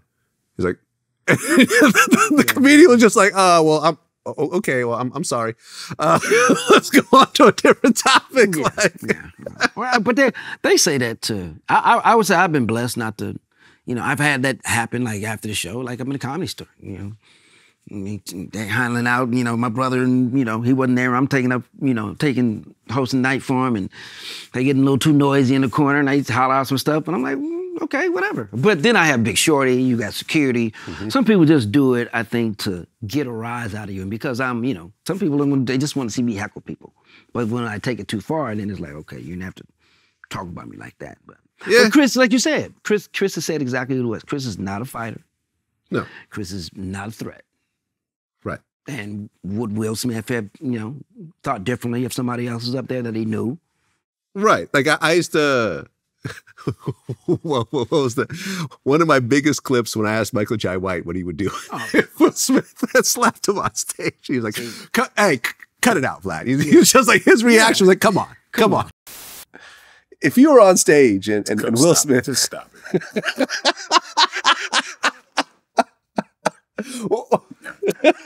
it's just not a conversation, is? It's like he's not even gonna come up there. He gonna walk, wax on and wax off before he even get because it was a it was a it was, come on, the slap came so slow. I'm like, Chris, you, you didn't get out the way of the slap. You couldn't even you Well, I don't think anyone was expecting this to happen. We're at the hmm. Oscars, like you know what I'm saying, like. man, hey man. You know, I, he probably thought he's gonna go up there Hey, and maybe put his arm around him and talk some shit. Rah rah rah. Yeah, you know, blah blah. It's part of the show. He and didn't then when it to didn't happen, you let him walk with his back to you, back off stage, not a foot in his ass. Yeah, when I yeah, try to shove him down, jump on him, catch him with a little chokehold in the bag, throw the mic at him. Anything. Well, I mean, you know, he ended his show with uh He, he, I mean, he said his parents taught him not to fight uh, in front of white people, which is actually the, the same thing that Marlon Wayans said in his comedy. show. It's funny how some of the same jokes were used by both comedians. I don't think the two of them got together and said, "Hey, let's use the same joke in our comedy shows." Like, no, no, no. Well, I mean, you know, I mean, they're, they're- I mean, it's it's happened. So comedians have different takes on what they would have done, and they're Yeah. from the, you know, they're, they're all from New York. Right? Yeah, so you know, but nah, my parents never told me don't fight in front of white people. Just don't get your ass whooped. Don't be disrespected for nobody. that's that's what would have happened right there. No, no, he, they got the right guy for the Oscars because he's very professional. Yeah, Yeah, nah, nah, it would have been he'd had to call Charlie Mack and everybody out the back. Mm. Yeah. Period. And they all and they all good. Libra, Will's a Libra. He had a moment. Yeah, I'm a Libra. So it's like, you know, so you Yeah. know, and, and there's nothing in life that has him, you know, um, tagged to any of those moments where he's lost it. He's always been the nicest guy everywhere. And every time I've ever met him, the energy, the people, he's, you know, so had a Yeah. point. yeah. You know, the whole entanglement thing was pretty pretty weird. Yeah, that could have been. all- I think it's a, you, you- a gunny sack of stuff that just got, Yeah, you well- know, got got to a point. And, I, I guess know, I mean I, I've interviewed August Alsina before, uh, but I, don't know Will or, or Jada. I mean, Right. I, I bet that you know I bet uh, Jaden, you know, uh, their son. But um, I guess the weird thing to me is about that whole situation is every marriage, every relationship is completely different. yeah, yeah. You know what I'm saying? Everyone who thinks that every marriage is traditional and this is the way it is, and No, you know, not. until death do us part, and you know, blah blah blah, is is living in a dream world. You know, I mean, especially once you get into levels of wealth and everything else like that. I fully understand that there is every relationship is unique and functions in its own way, My relationships are unique. I'm never going to judge how anyone else functions on their relationship. Mm. But, but, what seems a bit odd to me is that if one of your partners is seeing someone else, Mm. You don't usually all go on vacation together. that to me is the weird part. I don't want to hang out with the guy who's fucking my wife. Yeah. Like, you know what I'm Maybe- saying? Like, I just, we're all, and then that guy's also friends with my son. And you, you know what I mean? It's just, yeah, it's, it's just such a clusterfuck on so many levels. And then after that, they all decide to do red table talk and, and talk about it and put it all out there. Mm-hmm. That to me is the weird part. And I know as a man, and, and Will Smith is a man at the end of the day, I know that's not easy to swallow. Mhm. All that. Just that whole thing I just described. I know it's not easy to swallow. But if he created that world, if that's the world, That- that- and that's the world he yeah, created. You're, that's you're right. where he created. That's where he live in. Then you know that's then you know you. To him, it's probably you know it, it's not as messy, um, in Will Smith's world because Hmm. there's a lot of mess in that world if you want to peel it back. I mean, if you hear the stories, like okay, that ain't that's just one of the stories. But Oh, you know I, they. have heard a lot more yeah. stories. So it's like, you. you know, so, To me, I wasn't actually surprised when I heard this part of the story. I I like- I'd been hearing stories from years ago from people that were around, and I'm not going to get So sued I and tell like, you. But I'm saying, like, I've, now I've heard it's some, a it's a running theme, and now you see it acting out in real time. Yes. That's like, how do you deal with that? Yeah. Well, you saw. You slapped the guy who was on stage talking about it. I guess. Yeah, you, yeah, you, you. yeah, well, and, and, and it's even, and the reason why I asked, you know, have you ever seen uh, Jada and Pac together was because it got even got to the point where Will, in his book, said he was always Hmm. jealous of Jada's relationship with Tupac. right. You know what I'm saying? So Mm-hmm. he's putting that out there as well. Which he, he knows. I mean, that's if that's her true love. I mean, that's never to go nowhere in somebody's head. I mean, are you coming behind a second guy all the time? Especially if one tells you, oh, I mean, if if you tell somebody like, you know, well, I'm, in love with that person, and I'm always been in love with that person, and, and but you never carry it out, and you're with somebody else. That's that's. I think that's the problem with telling people, you know, uh, your your your your true loves. Because now if they're still living, or they're, or they're you know just Or as bigger powerful, than life, bigger like a Tupac. life. Yeah, it's is- like, I mean, if you think about it, I mean, yeah. Who, who would you say is the bigger, biggest figure, the bigger figure worldwide right now? Would it be Tupac or Will Smith Worldwide. worldwide? You see what I'm saying? It's almost. Yeah. It's. I would almost say Tupac. I said, yeah. You would you would say Tupac because he he lives. You know, um, he's he's he's forever. Right. Like like yeah, he's he, he, 20, he- yeah. 25 years after Will's death, I don't think they'll still be talking about him the same way we're talking about 25 years after Tupac's death. Nah, That's nah, what I'm nah, saying. yeah, no, they won't. No, because Yeah, Will, because- Will, but Will, Will has enough work out there where Will has work, but Pac, uh, no, not as a rapper and not Pac as well, a Pac iconic also was sort of a figure of the struggle. right, exactly. You see what I'm saying? Pac, yeah. There's like murals and Pac of Pac in like Africa and, Yeah. and stuff like mm-hmm. that because he was like a Bob Marley type figure Exactly. of someone that fought against oppression, fought against the government, power to the people, you know, was, was was the voice of the poor and you know, and unheard and so forth. Will Smith's an actor. Right. There's a difference. He's He's a good actor and he's been in great films, yeah. but people generally don't talk about Pac's acting career the way they talk about his music career. And even though he's in Juice was a great movie, you know, Right. Poetic Justice was a great movie, but Yeah. when people talk about Pac, they talk about All Eyez on Me. They talk about Dear Mama. Yeah. They talk about Hit 'Em Up. You know what I'm saying? They, they talk about that type of thing. So yeah, I mean, it's hard, I guess, to compete against someone who's just bigger than life. and, and but it's music. See, you have music, something that you don't have to watch, you can continuously hear. Music, I think, is just always the the end of to the test of time because it's it's you know you hear something from 50 years ago to now. I mean, you know, your Christmas songs when they come around. You know what I mean? Yeah. And and and Pac is like, you know, I, I think that um between him and Will Smith, you're right. His his his songs talked about the struggle. Yeah. Britney's baby, we got make it, we got to do something. And I think that's the last kind of uh, real rap that you heard. The Nas's, the Pox before they you start turning into the mumble mouth shit. So Yeah. Yeah. Well, Joe Torry, man, glad we finally got to do the interview. Oh, yeah. I've been a long time fan, man. You got classics under your belt. What do you got coming up next? uh, yeah, um, man, Miles Davis story I'm working on. Miles, Miles Miles- Davis. So yeah, you're going to play Miles Davis? Yeah. You gotta lose some weight, though. Right? Yeah, I can lose a little bit. weight. I lost like 20 pounds already. You lose more. I know, I know. We good. I think I Shit, lose well, you know, you could always use the, the heroin diet that uh, that Miles did. You know what I'm No, saying? no, I got the hair. I got I got lots of I said the, heroin. the heroin, the heroin, di- the heroin no, diet. We're not doing that. The heroin diet. We're showing him in his, in one of his best times. But yeah, yeah, he, got really skinny by the end. yeah, he did. Yeah, but but we're showing him the time was one of his best times. So I'm trying to show him in a good light because everybody show movies on Miles Davis. Some of it is Right. What, what, uh, what was the name of the actor that did the Miles Davis movie? Don, Don Cheadle. Don Cheadle. Yeah, It exactly. was pretty good, yeah, but, but it know, wasn't great. Yeah, it wasn't. I'm going to say it wasn't It great. I'm sorry, Don. I'm sorry. I'm Yeah. sorry. It wasn't a great film. Right. No, but everybody says that. Now I love Don. I love Yeah. him too. But the choices and and the story they was trying to tell about Miles, you know, the King of Cool, I think you could have told a better one. Yeah, So he I'm- just seemed scattered and you know, kind of messed up and, Yeah. and so forth. yeah for the for the, the real King of Cool. So I want to show a positive part of his life. So Mm-hmm. Dope. um, you know, and I'm working on my channel, Joe Torry TV. Right, and this is the 30 year uh, anniversary of Poetic Justice. 30 year anniversary of Poetic Justice coming up in um, July. So uh, we're trying to, you know, the ones that are still here, Mm-hmm. you know what I'm saying? We hey, we give peace to John and Pac um, and Don Wilkerson, Yeah. um, all of them who were on this. But uh, You know, Janet's still here, Janet, Regina's still here, yeah. you're still here. still here, man. Uh, what's the name of uh, Pac's mom who, who played that Um, in the movie? Oh, um, yeah, you, uh, yeah, Jennifer, Jennifer Lewis. Yep. Um, but also uh, his uh, John Singleton's daughter was working on a series of Poetic Ah. Justice. Yeah, Oh, I saw her. Yeah, I saw her. Uh, dope. Yeah, I saw her at, at one of the Pan African Film Festivals, and she was working on a Dope. series of it. So justice will be served, hopefully, for poetic justice. That's what it is, Joe Torry, man. Until next time. Till next Peace. time, bam.